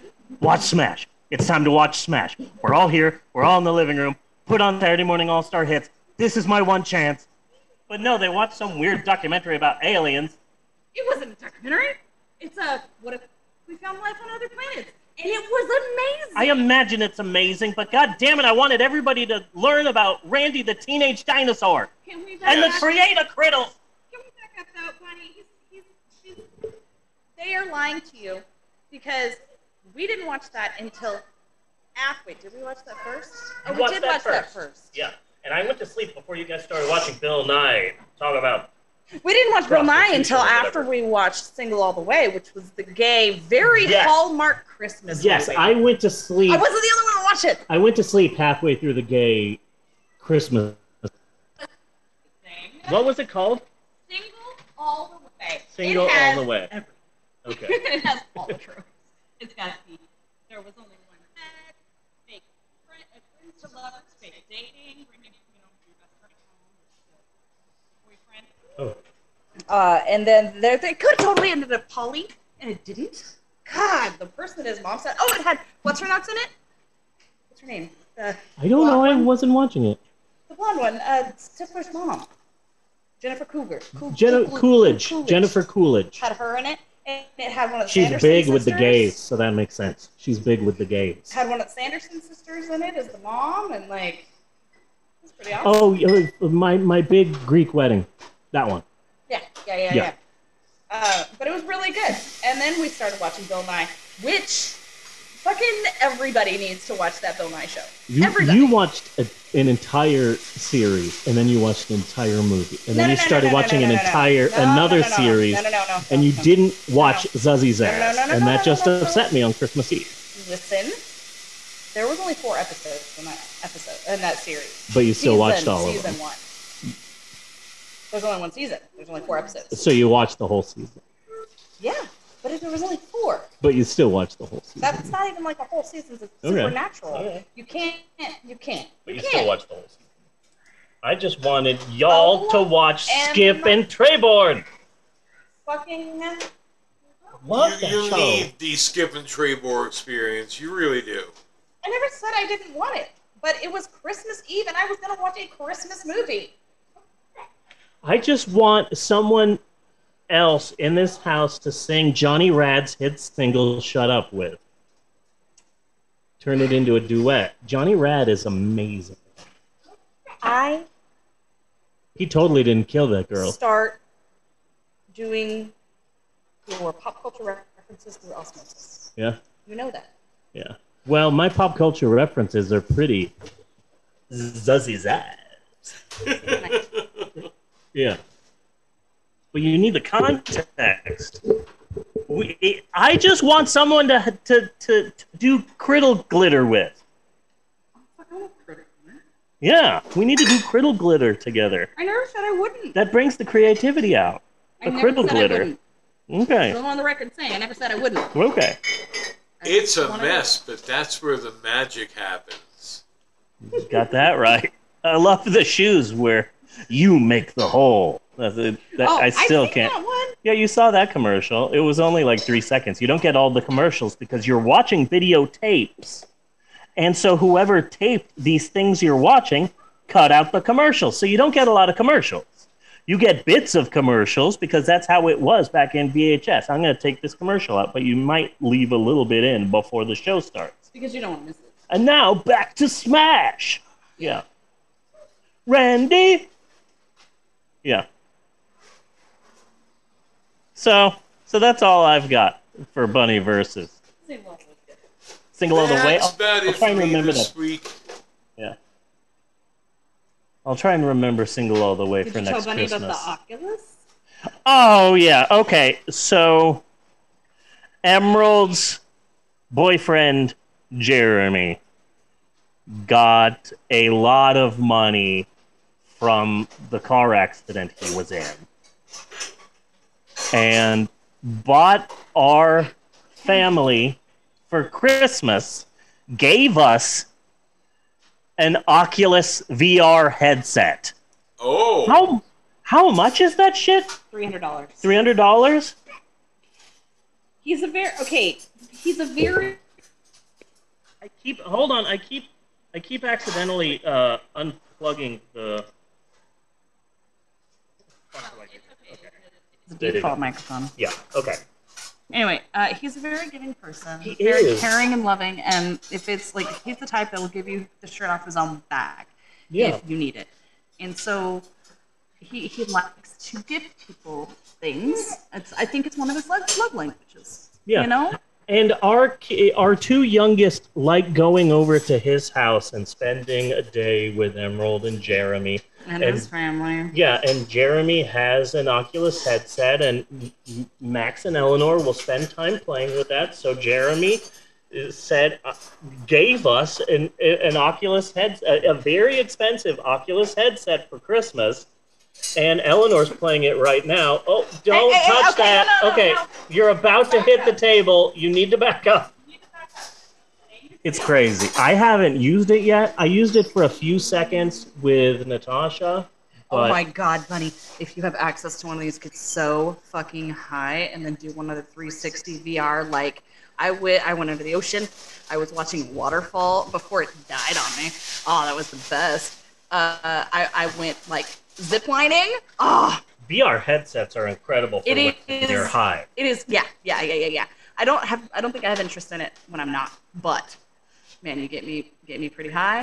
Put that thing on my head, and I'm gonna. I can watch that waterfall forever.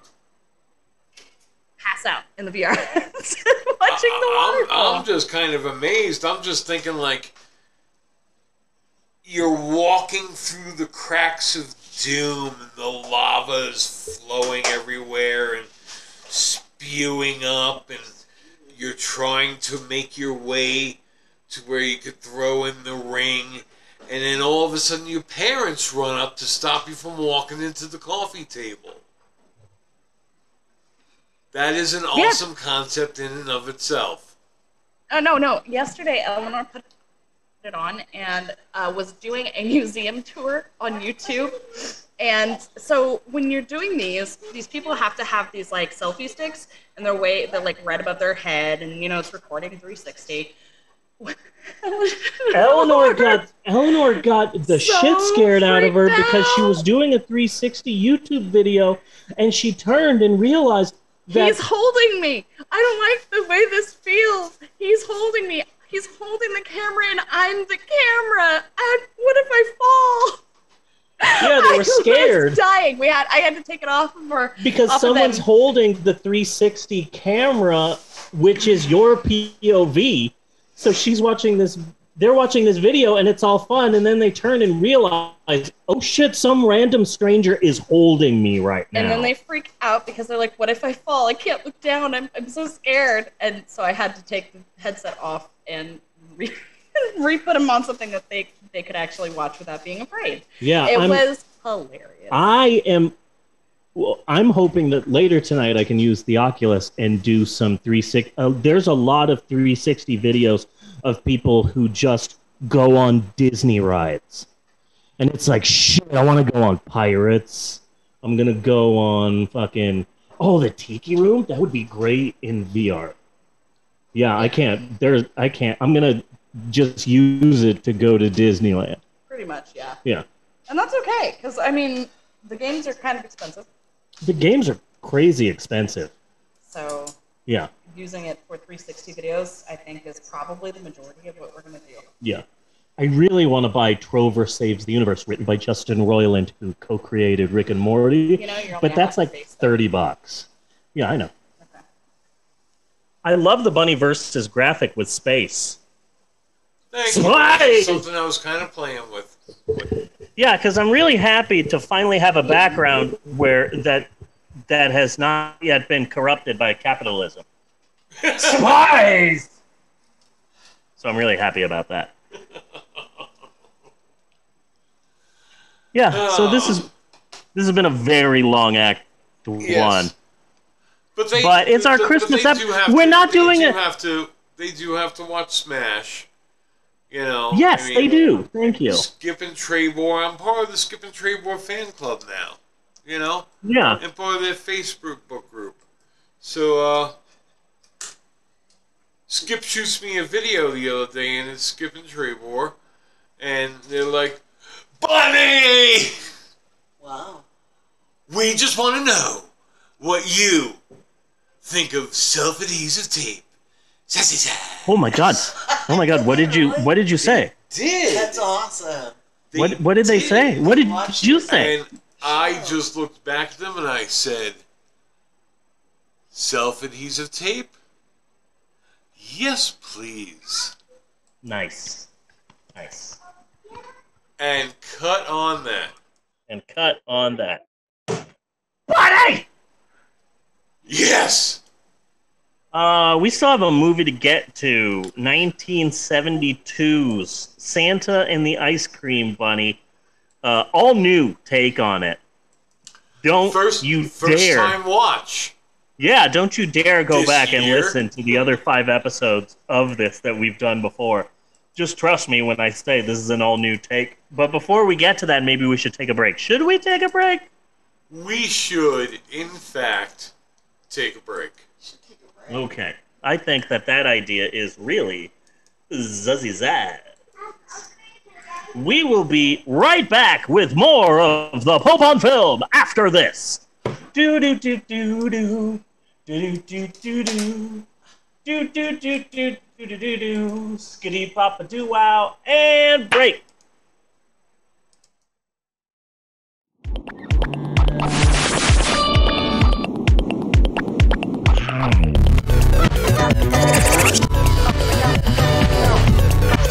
An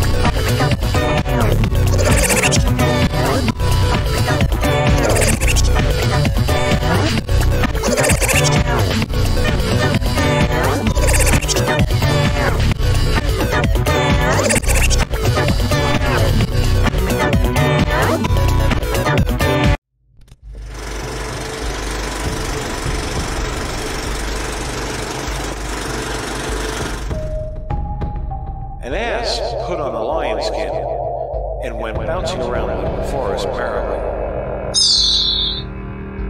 scaring the foolish beasts by brooks and by rocks. Till at last he tried to scare Bob.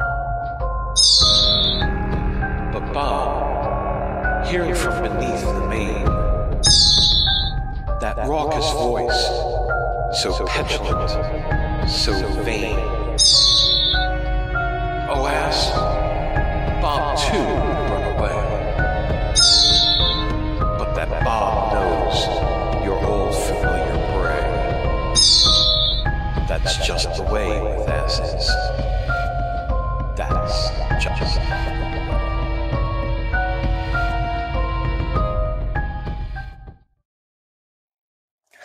Hello, everybody. It's me, Reverend Steve. I am nervous because I'm going to drink a 41 year old beverage that might kill me. There was a TV show called Dallas. Dallas was a soap opera that originally premiered in April of 1978 as a mini series, but the mini series was so popular that in September of 1978 they decided to turn it into a short one season TV show. It became so popular that it ran from 1978 to 1991. One character, uh, Bobby Ewing, was killed off, but he was so popular that they decided to make his death a dream. Really stupid. And then, of course, the, the main character was sort of the, the patriarch of the family. His name was J.R. Ewing. In the 1980s, they made a beer premium beer. J.R. Ewing's Private Stock came out in the year 1980. And it says on the bottom here if you have to ask how much my beer costs, you probably can't afford it. I purchased very cheaply a six pack of this. One had a hole in it and it was empty, but the other five were still open and sealed. And so I put this in the fridge for a while and I'm going to drink it. Surprisingly, I posted about this on Twitter and I'm like, hey, I've got this 41 year old beer. Who wants to see me try it? And the answer was a big, resounding no, are you serious? You could die. Which I wasn't expecting from Twitter, but I basically got shamed. And uh, so I'm going to open this. This is weird. Do you see this? How, how do I. Ooh, look at that. That's the weirdest. V8, Huh? like the old V8. Yeah, it's like V8. Okay. So, um, all right. No, I didn't shake it. I'm gonna drink of 41 year old beer now, so pinky's up for the classy stuff.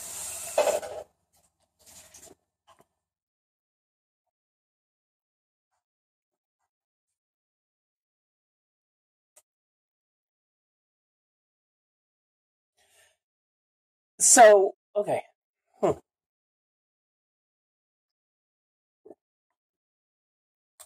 First off, it tastes dusty. It might be a little dust on my bottom. But when you get past that, okay, so you know when when you're like young, when you're like in your twenties, you're like, I'm gonna go get beer. You're talking to the wrong person. The cheapest beer imaginable. Eh, eh, Okay, so so there's like there's like cheap beer that will burn your mouth because it's horrible.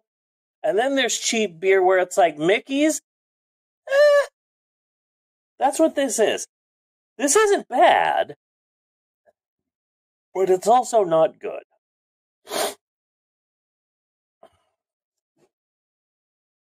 It it it it tastes all right. Tastes all right.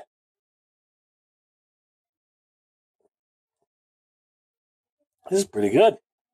This is pretty good. It tastes cheap.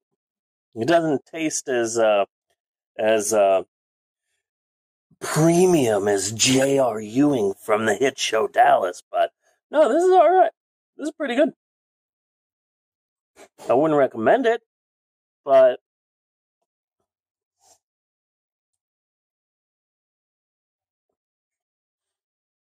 yeah, this isn't that bad. It's cheap and dusty, but I've I've drank cheap and dusty beer before. You know, go into some sketchy convenience store and they have a 98 cent uh pint of some beer you've never heard of before and you buy that that's what this tastes like. Uh it's not that bad. Not that bad. It's all right. This is a weird video but hey thanks for watching. And if you're watching this during the podcast hey break time buddy and i are peeing I had some crazy nicknames back in the 70s, but all those friends died in the 80s. I wonder who else I can call.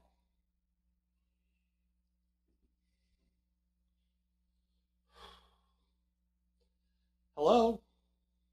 Hey. Sound cute. What's your name? Nancy? Oh, hi, Nancy. Stand by your window so I can see you. You stand a million miles away. Oh, I'm sorry, hon. I'm not allowed to have windows. Uh, court order.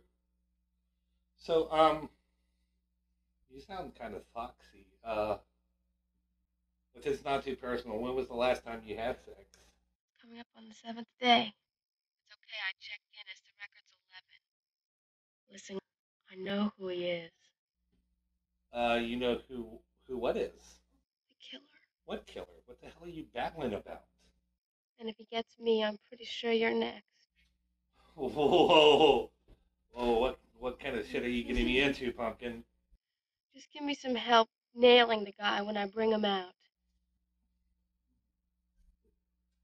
What are you babbling about? My dream. What?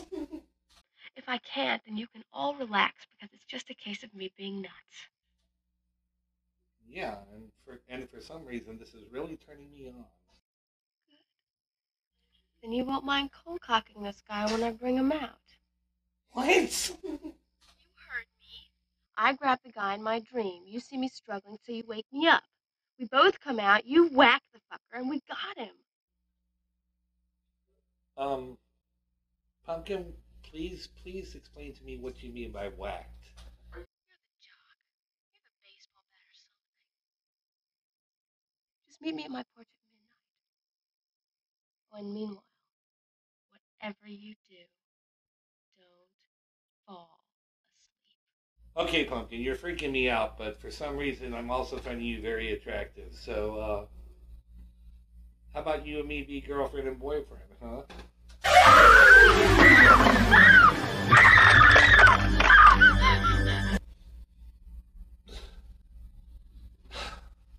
The fifth time that's happened this week. Go back to the movie. Spider, baby. Come on, come on, be my spider,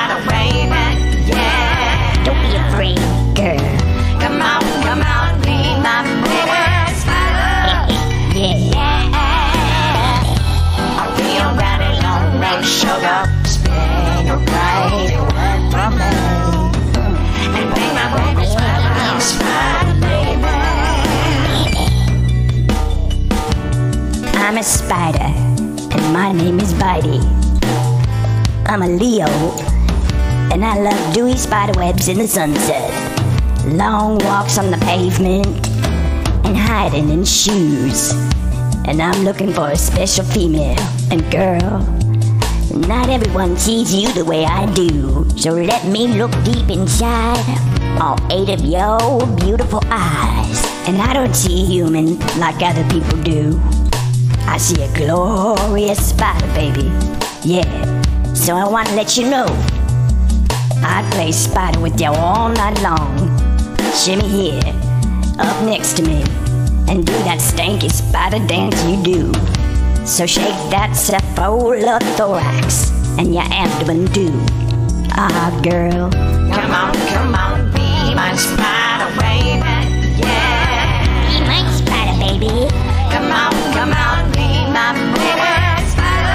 Yeah, yeah, yeah. One more time. Me. Mm.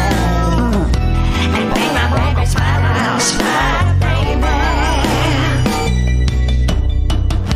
And I know how it is when a male spider tries to show you what he's made of. And I gotta let you know, I don't mind dying for just one night of sweet spider love. If that's what it takes to get near you, girl. A hungry female may consume any invertebrate that comes along, including her suitors. But baby, but baby, I don't mind because you're truly worthy. You're worth it, baby. My pedipalps are palpitating, circulating. I could be perspirating, but I can't because I got an ectoskeleton. That don't matter, nah. So let me be your daddy, baby. Hopelessly tangled up in your silky web. Let me kiss your fangs before you jump off my head. Yeah. Come on, come on, be my spider, baby. Yeah. One, two, one, two. Come on, come on, be my baby spider. You know it's true, girl. Yeah. Sugar. Come on. Spin your right away from me. I'll be your daddy lonely. Be my baby spider, spider, baby. Spider lonely, sugar. In many spider species, females eat the males after sweet, sweet love. But I don't mind. Nah. You see, I got eight boots on my legs for knocking. I notice you do too. Spider baby rocking all night long. You see, even spider love is blind. Come on. Ooh. Come on, come on, be my spider baby. Sixteen boots of spider knocking. Come on, come on, be my baby. Spider girl, yeah. A real daddy long leg sugar. Sugar, Cephalothoracks. Cephalothoracks. Yeah, baby. You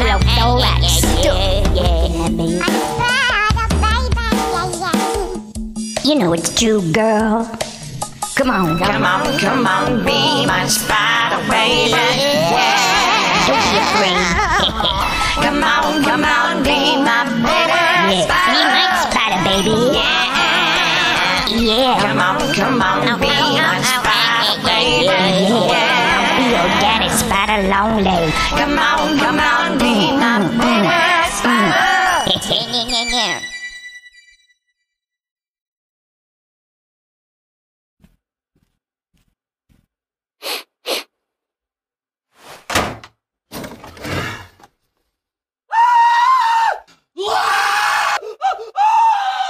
When mold and musty odors invade your space, get Concrobium Mold Control. As it dries, only Concrobium crushes mold and mildew at its roots, leaving an invisible antimicrobial shield so it won't grow back. It's odorless, too. For the safe way to defend your home from mold and mildew, Concrobium. And don't forget to protect against musty odors and moisture damage with Concrobium Moisture Grabbers. You don't have to imagine that we're back. Because we are.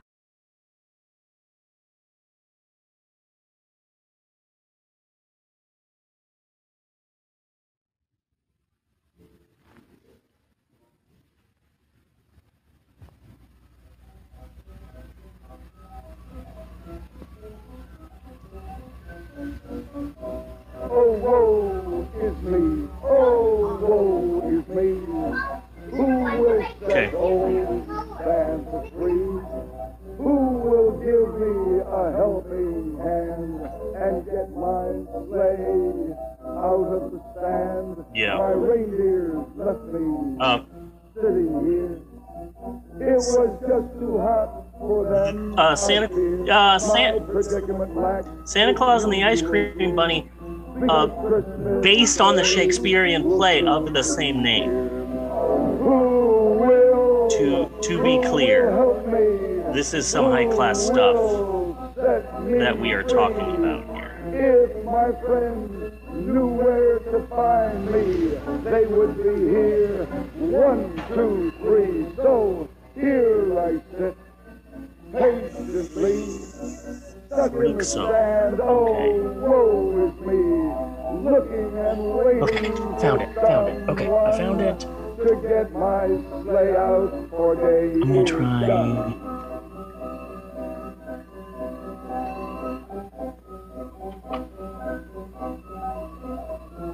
Found a little thing for you, Bunny.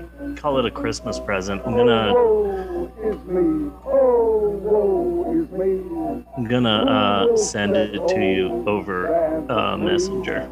Who will give me a helping hand and get my sleigh out of the stand? My reindeers left me sitting here.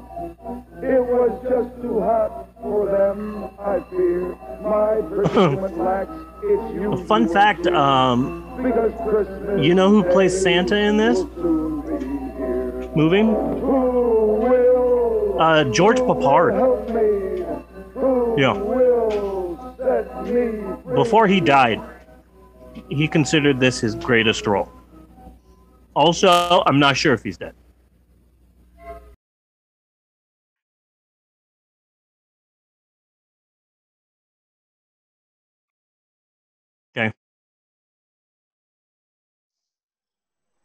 And we're back with more of the Pope on film. Uh, yes. Hi. How are you? Okay, Hi. Bunny. Bunny, um, sending it to you now. Before we get into this week's movie, um, in 2015, they made a retro style 8 bit video game based on the movie Manos the Hands of Fate. Yes. It, it I bought it on like the Google Play Store and I had it on my phone and it was one of those things where I had it on my phone, I would play with it for a while, I would delete it, then I'd go back, I'd download it again after like 6 months, but after like a year or two, it got taken off of all of the like Google and Apple Play stores because there were there has been for the longest time a struggle with the legal rights of who exactly owns Manos the Hands of Fate. But now the original creators of the game, uh, Freak Zone Games, has posted it on their website as uh, a game that's uh, pay what you want. You can pay a thousand dollars for it, or you can pay zero dollars and download it and play it on your computer right now. I just sent you the link for Manos: The Hands of Fate, the game. You can download it on your computer. It's free to play. My favorite part of the game, you play through the movie, but you're not just fighting Torgo and fighting the Master. They put a bunch of characters from a bunch of other bad video games. Uh, the Screaming Skull screams at you and attacks you. You get attacked by killer shrews. Uh, I, I, I not only am going to have to download this game, I'm gonna have to see if I could live stream that. yeah, it, it's a really fun game. Uh, I keep getting stuck on when you fight the portrait of the master above the mantle. But one time I got to, I believe, level four, which is a flying level for no reason whatsoever, other than the fact that the boss of the flying level is the giant claw, Cool. which I think was our first movie we ever did. It was our first movie. Yeah, so you fight the giant claw. It's a really fun game, and you play as Mike, and you got the gun. And the first boss is Torgo, and he doesn't really do anything. He's just walking around with his weird ass legs. It's such a fun retro style game, and it's available right now for free. And everyone should definitely weirdest picture you've ever picked for a podcast movie. Yeah. You always try and go for something different. This time you really went different. I was not expecting to see this. Great though. That is great. That is There, great. there is, That is like there is not even pictures of this movie in any good variety. You know, so Yeah. I, I I wanted I wanted Thumbelina because we're doing this is the Thumbelina version that we're covering, yeah. and this is the other Thumbelina picture that I found. Yeah. So specifically, if anyone out there is watching and wants to download the game, the website is freakzone, F R E A K Z O N E games dot itch i t c h dot i o slash manos, and you can download the game for free right now. It's fucking fun as hell, and I was gonna do a playthrough for my um kid friendly YouTube channel, but they really frown on any videos that feature guns Okay. for kids, for a kids video. So, um, I might still do it, but I'm not sure. But anyway, um, Bunny, Yes. very serious here. Uh, we like to joke and play games on this podcast of being very serious. It is time, once again, for our annual discussion of perhaps one of the greatest Christmas movies of all time. Move over, Fragile. Move over, Merry Christmas Movie House. No. One of the greatest films of all time, one of the greatest Christmas films ever made Yes. the 1972 film Santa and the Ice Cream Bunny. Uh, and this year, I watched it no less than nine times, and I wrote, I wrote all new notes Yes. about this film, and I took a deep fresh new dive into the history of this film and how and why it was made. And again, these are all new notes, never before uh, said or heard before this point. So it, just take my word for that. You don't have to go back and listen to episode 105 or episode 154 or episode 198, episode 241, or episode 285. Just trust us. This, our sixth annual discussion of Santa and the Ice Cream Bunny, is all new. Never before heard. Look Yes. at an amazing film. Um,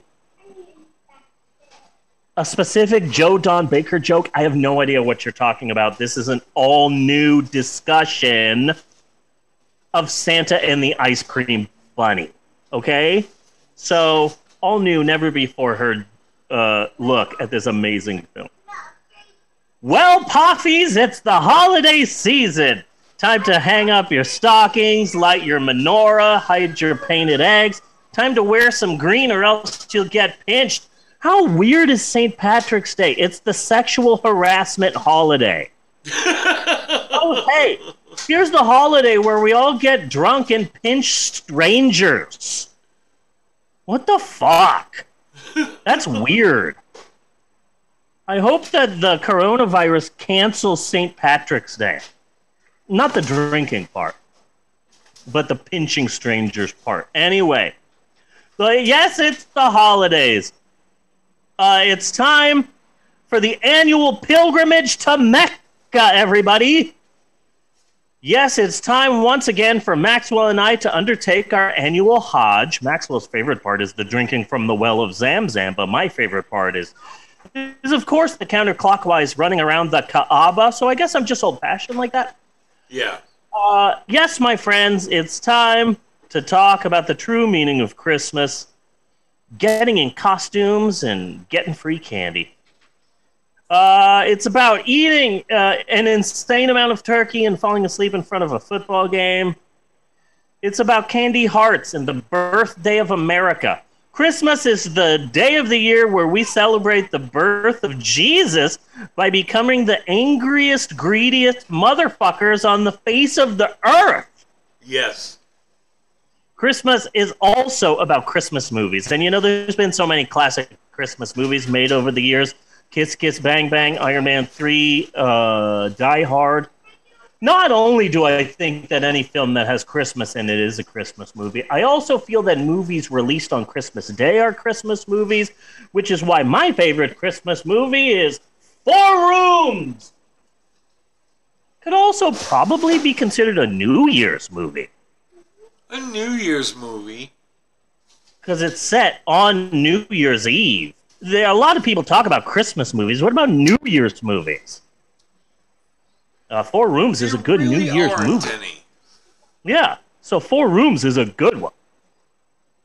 And then, of course, uh, the greatest Christmas movie of all time, this week's film, which saves you both time and money by being two, two, two crappy movies in one. It's the notoriously hideous cinematic stillborn known as Santa and the Ice Cream Bunny!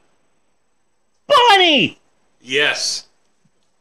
This week's movie is so bad that a lot of people, i- including some bad movie lovers out there, have never even heard of this movie, let alone seen it. It's an under the radar bad movie. But of course, the difficult part about this movie is how to explain it without sounding completely insane. Um, the basic plot is, is that, okay, the movie focuses on Santa Claus, who, it should be noted, rates a 9.5 on the Joe Don Baker sweat meter. I have never said that joke before, No. which is why it's so hilarious. It's brand new to me. Brand new. Santa crashes his sled on a beach in Florida. That's uh, Florida the state, not Flo Rida the rapper. That is a joke that is 100% new and fresh here in the year 2020 and not six years ago. uh, the reindeer leave him because it's too hot. Um, fuck off, reindeer. rude ass. And I usually don't pay attention to that much of uh, uh, Rudolph the Red-Nosed Reindeer, the classic stop motion animated. I didn't realize Rudolph was the son of Dasher. Really? Yeah, I was really paying attention this year to Rudolph the Red-Nosed Reindeer. Who ever heard of a Charlie in the box? But yeah, he's the son of one of the Santa's reindeers. So uh, uh, yeah, um, what's that word where you you hire your family? Nepotism. Wow, nepotism much? Yeah. Not cool. Uh, And and and being a disappointment to your successful parents. Yeah. Yes. Yes. So uh, a bunch of people try and get Santa out of the sand. Uh, Santa summons kids in his sleep, which is weird. That's like a new mutant power for him, which I don't understand. He summons kids, a gorilla, a donkey, uh, some other animals that are probably taken directly from a specific theme park petting zoo, which we'll get to in a little bit. Yes. Then out of nowhere, a whole different movie breaks out. Yes. And just like the movie Clue, there are different movies. Most of the time you get Thumbelina, but there's also uh, Jack and the Beanstalk, which it took a while for us to finally find, and when we found it, we did cover it. But I like the, I like the Thumbelina version because there's more to it, but I like the Jack and the Beanstalk because it's just fucking shorter. It makes the movie shorter. Yeah. It's like 10 or 15 minutes shorter, and it's like, okay, I would prefer to watch the shorter Santa and the Ice Cream Bunny, but whatever. Um, and we did, and we did Santa Claus, the Jack and the Beanstalk last year. yeah. Uh, between the two, and like, this is kind of hard to say, but I think Thumbelina is the superior film. Yeah. It seems like there's just more to that one. But The by Jack and the- superior, we mean sort of in Trump is Jack and the Beanstalk. Biden is Thumbelina. Thumbelina seems like a bad movie, whereas Jack and the Beanstalk feels like a shitty play someone filmed. Yeah. So there's that. So yeah, so you're watching Santa and the Ice Cream Bunny, and oh, there's Santa. He's stuck on the beach in Florida for some reason. And then suddenly, uh, a different and much longer movie breaks out, which is fucking weird. It's uh, bad movieception. Yes.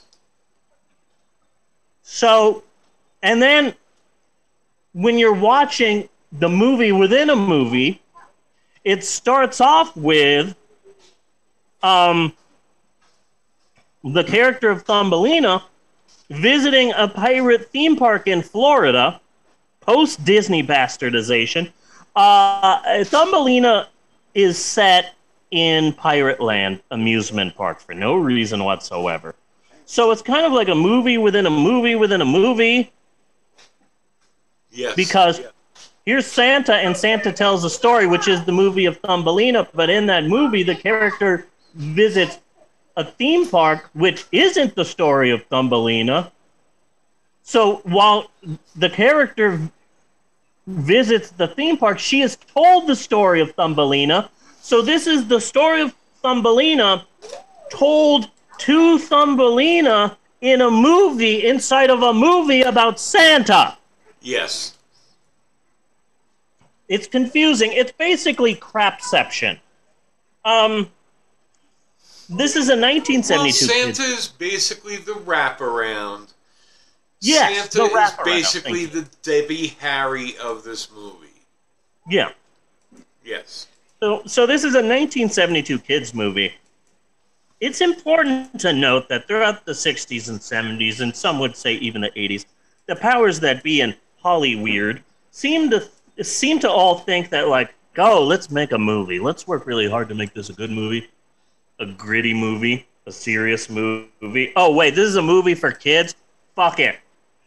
Uh, let's make it as dumb as possible. Remember, people, kids are stupid. Yes. So like that's how you get Santa Claus conquers the Martians, uh, fucking Mac and me, you know. So, you know this this is i- i- the kids movies were movies that were quickly cranked out to make a little bit of money, Yes. like that Mexican Santa Claus movie. Yes. I like that one. I like that one. Now, in order to fully get to the bottom of Santa Claus the Ice Cream Bunny, we need to talk about a specific movie genre. What? Are you going to talk about kids' movies? No! Nudie Cuties! Yes. The Pope on film! Kicking it up a notch! Okay, so Nudie Cuties were softcore nude movies from primarily the 50s and 60s. It featured ample toplessness but select bottomness, no vagina, no uh, uh, uh, penises. Usually, some of the broad, and also usually some of the broadest humor ever to be shamelessly written into a script. Humor so broad that it made Benny Hill look like Shakespeare. Yes. So uh, I've got a list of some of the classic, some of the the more famous uh, nudie cutie movies that have been created. And um, did I make up some of them? Yes, but I didn't make up too many of them. So maybe just get off my dick. So here's some of the most classic nudie cutie movies: Nudies on the Moon, The Monster of Camp Sunshine. Nudies at the Abattoir, Naked Homicide Detectives, Nudie University, Nakedsville, USA, Naked Welders. Uh, okay, never mind. I made up the majority of that list, but still, you get the general idea, Yes. You know? So nudie cuties were, a thing, you know, the type of thing that was viewed in a dimly lit grindhouse theater by a single man in a long trench coat. But now, now, while we are on the subject of nudie cuties, I do need to take a little bit of a side to try to solve my Wood Wayne dilemma. Yes. Because I really feel like the Wood Wayne special should be the last Ed Wood film. Yes. Ever? But his last, and I woke up early the day I died as our canonized last Ed Wood film.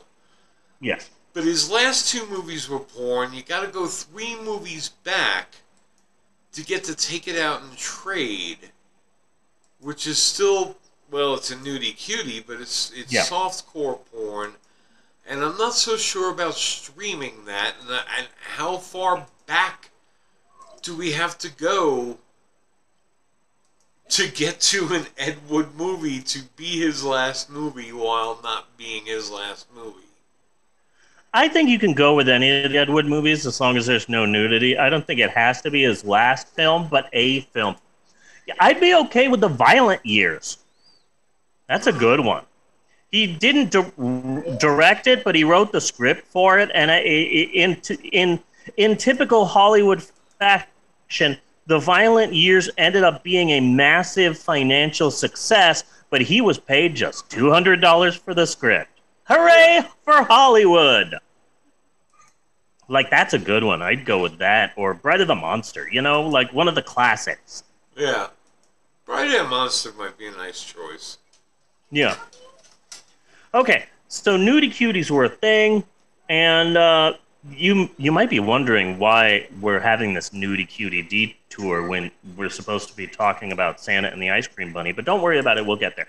Um, one of the leading directors in the world of nudie cuties was a guy by the name of Barry Mahon. I'm I'm pretty sure that the H is silent, and his actual name is Barry Mann, but I believe that all letters matter. Yes. You know, s- some people say, "Oh, only vowels, oh, vowels matter," but I'm like, "Oh, all letters matter." So I pronounce all of the silent letters because I feel that n- no letter should be silent. Not the first time guess- you've come out as alphabetist. Yeah, I I guess uh, I'm just a bit more woke than most people. Yeah. So his name is probably pronounced Barry Mann, but around these parts, his name is Barry Mahon. Uh, he was a veteran. He was in World War II. I know this because I looked him up on Wikipedia, and apparently, when he was in World War II, and this is true, he, he fighting people. Hey, help me sock old Adolf in the jaw, and he was captured and he tried to escape and he was a small time hero and they made a little film about him. Uh, it's kind of an indie film. Not a lot of people have heard about it. It's called the great freaking escape. It's based on the man who would later go on to make santa and the ice cream bunny. Yes. that's crazy That that is a great Very- twist of fate. Yeah, it's insane. It fucking goddamn. So a the Barry only way we Mahon. can notch that up just a little bit higher is if he would cast Audie Murphy. yeah, yeah, yeah. I'm a big uh, Lee Van Cleef fan. So basically, Really? we are talking about Steve McQueen. Yeah. Uh huh. Yeah. Yeah. Barry Mahon was Steve McQueen. Damn it! I dropped my Made- grand. Went on to make Nudie Cuties. Wow. Yeah. Eventually leading to the summit, I guess, of his career Santa Claus and the Ice Cream Bunny. Yeah. Santa and the Ice Cream Bunny. Without a doubt, the apex of his career. Sorry, I'm making a camera move, but I have to It's fine. It's fine. to turn the air conditioner I'm moving it a bunch now. Mm, earthquake. Okay, we good. I shook it a bunch to make you feel better. I'm not saying I'm a hero, It didn't make me feel better. because what's a hero? But um, Barry Mahon would direct over 60 films in his lifetime, and he was really prolific. Uh, he was also a prolific producer in junk. Um, here are some of his. Here's a list of the some of the nudie cuties that Barry Mahon directed, and unlike the last list, each one of these is an actual film that he directed. Forbidden F- Forbidden Flesh, Sex Club Intern, Nude Go Go, Swinging Nurses, The Love Cult, Nudes on Tiger Reef, The Beast That Kills Women, Bottoms Up, and my favorite sounding one, The Diary of Knockers McCalla. Great name. That's a great name. Fucking wonderful. I see my hair right now in the picture, and I feel like I look like if Buffalo Bill from Silence of the Lambs came out as bi.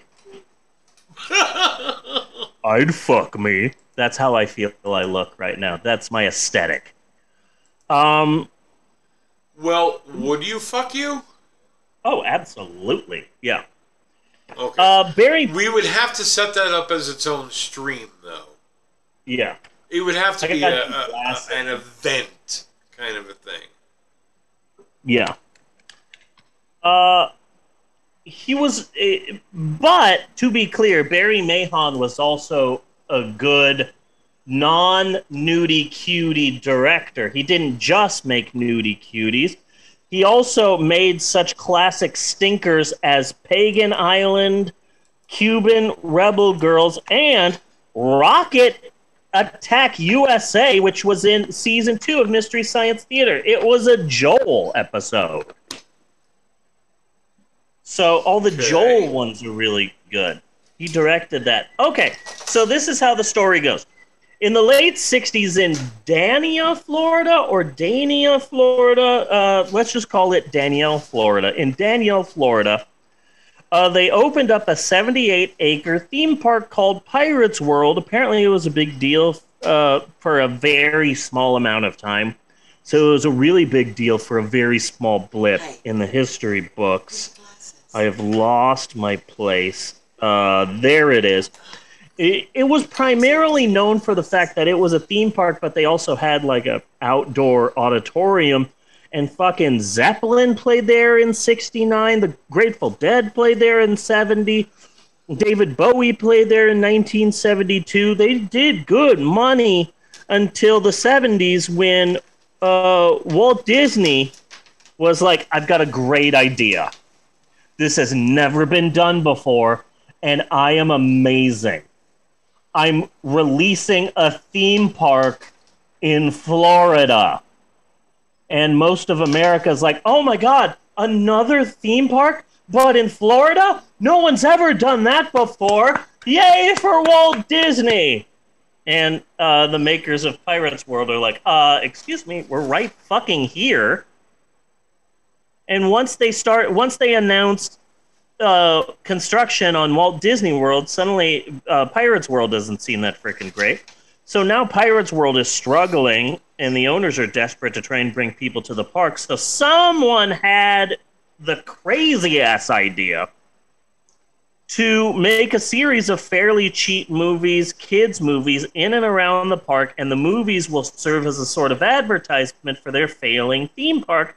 And as it just so happens, around this time, Mr. Uh, Nudie Cutie Barry Mann, Barry Mahon, was uh, thinking about jumping into the, the, the kiddie movie picture. He so he made a very low budget Wizard of Oz movie, and he needed a place to film the Wizard of Oz movie. And uh, Pirates World said, "Hey, come on in. You can film the movie in our theme park."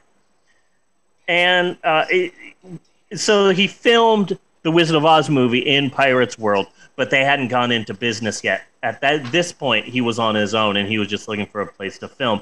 And he's doing a low budget kids movie, and he, fucking Barry Mahon has the balls to go, yes, this, uh, my movie, it's not cheap and stupid. In fact, we got somebody big to star in it. Maybe you've heard of her. Judy Garland? Name ring a bell? But of course she's not in it. He was just fucking. He was just fucking lying in order to get uh, people to care about his shitty ass movies. So like, like it's total bullshit. But hey, uh, good on you. That's fucking hilarious. Uh, anyway, uh, after the Oz movie, Barry Mahon made a series of movies with Pirates World at his center. First, he did a documentary. It was called Musical Mutiny. It was about a big free Iron Butterfly concert. Yes. And then there was Jack and the Beanstalk. And then there was Thumbelina. All those two were made by Barry Mahon. But it, it, and he made those in the 70s. But then in 1971, Disney World opens. And Pirates World declared bankruptcy a few years later in 1973, but they went for one more kids movie, but they had no money because they were about to go out of business. So what they did is they Silent Night, Deadly Night 2'd it. Yeah. Boom! Just figured that out. So they just filmed a wraparound and used the other two movies that they had just done. Uh, and that is the true story of the creation of Santa Claus and the Ice Cream Bunny. Uh, well, I think I think that we should take Santa Claus and the Ice Cream Bunny, either version, and cut out the Thumbelina parts and put in Silent Night, Deadly Night 2. So it could be Silent Night, Silent Night, Deadly Night 3. I think it should be called Silent Night, Deadly Night 2 and the Ice Cream Bunny. I like that title, and it's a really good idea. And I am getting really high right now. So I now it can't it can't be flash. So it's going to be a short movie Because you can't Yeah. flash back to Silent Night, Deadly Night. You can only flash back to Silent Night, Deadly Night 2. Yeah. That's a great idea. Um we did this episode we we first did Santa and the Ice Cream Bunny in episode 105. Uh the episode before we were discussing the end of Gilmore Girls and we're trying to figure out who could be Rory's baby daddy. Ah! And I tried to make the case that Supernatural, the show, is a s- spin off of Gilmore Girls. And that they were both taking place in the same universe. Yeah. Um, we were also still doing homework. We watched Batman the serial and uh, the like movie serial. Yes. And uh, fun fact: the week after this, we did. You remember this? All American Christmas Carol. All American Christmas Carol. That hurt. Yeah. That hurt. It was Yeah, a that was trailer trash Christmas Carol. Yeah.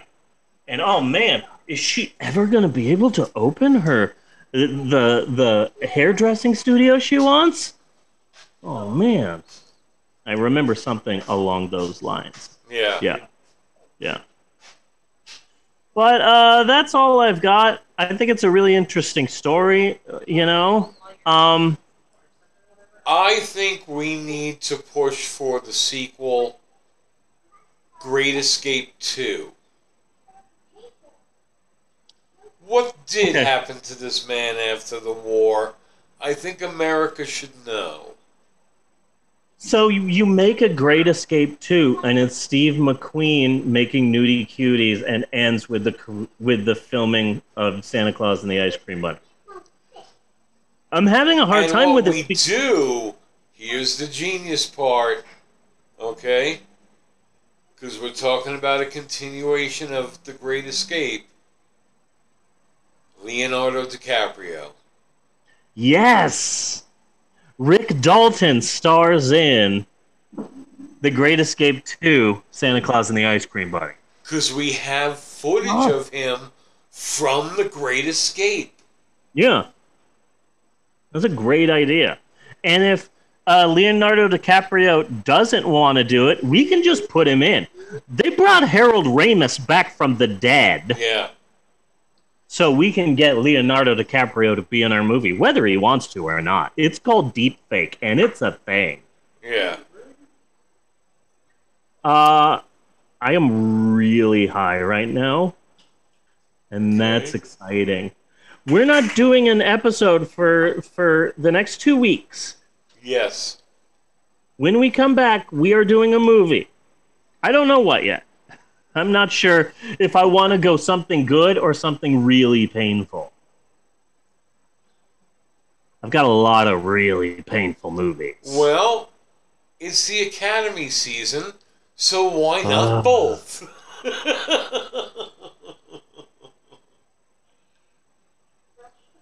If you're talking about both, then I'm not saying we're doing it, but in our next episode, we might do Mother.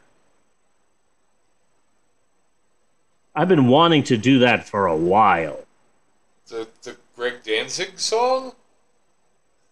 No, Glenn Danzig, Greg Danzig Greg. makes me think of, like Glenn Danzig's jock brother. Hey, I'm Greg Danzig. I'm the star of the football team. I'm always making fun of my younger brother, Glenn. He's such a dweeb. That's what I think of Gl- Glenn Danzig. Shut up, Glenn. You're always being mean to me. I'm going to go sing a song about mom.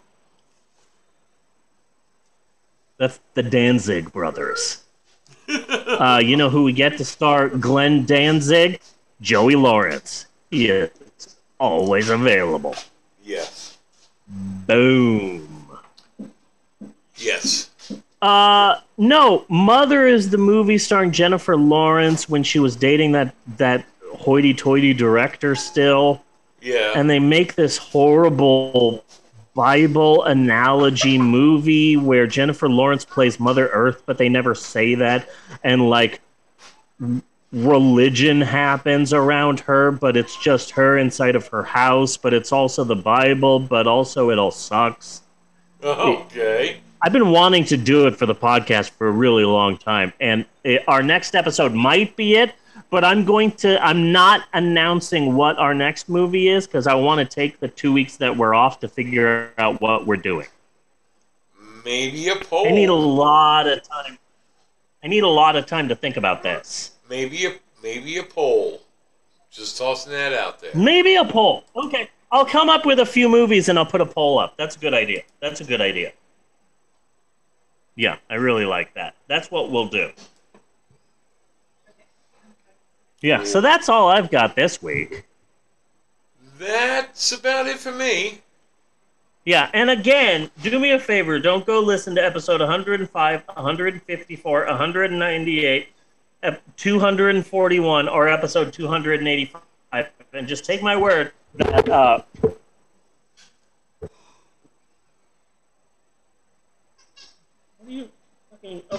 Haha, just take my word for it. Uh, this discussion of Santa Claus and the Ice Cream Bunny, you've never heard it before. Dog and the squeaky toy. Stop with the squeaky. Stop with the squeaky. yeah, so that's all I've got. Uh, all right. But hey, now that I'm thinking about this episode, looking back, uh, Joseph Mengele 2.0, the uh, Red Erections, Nightmare Alley, uh, Recep Evadik 5. I gotta say, I think this has been a good episode. I think it's been a good episode. It has been a damn good episode. Oh, okay. I also felt I that it was a damn good episode, but I didn't want to say it because I feel like you're the person who gives an episode the distinction the distinction of damn.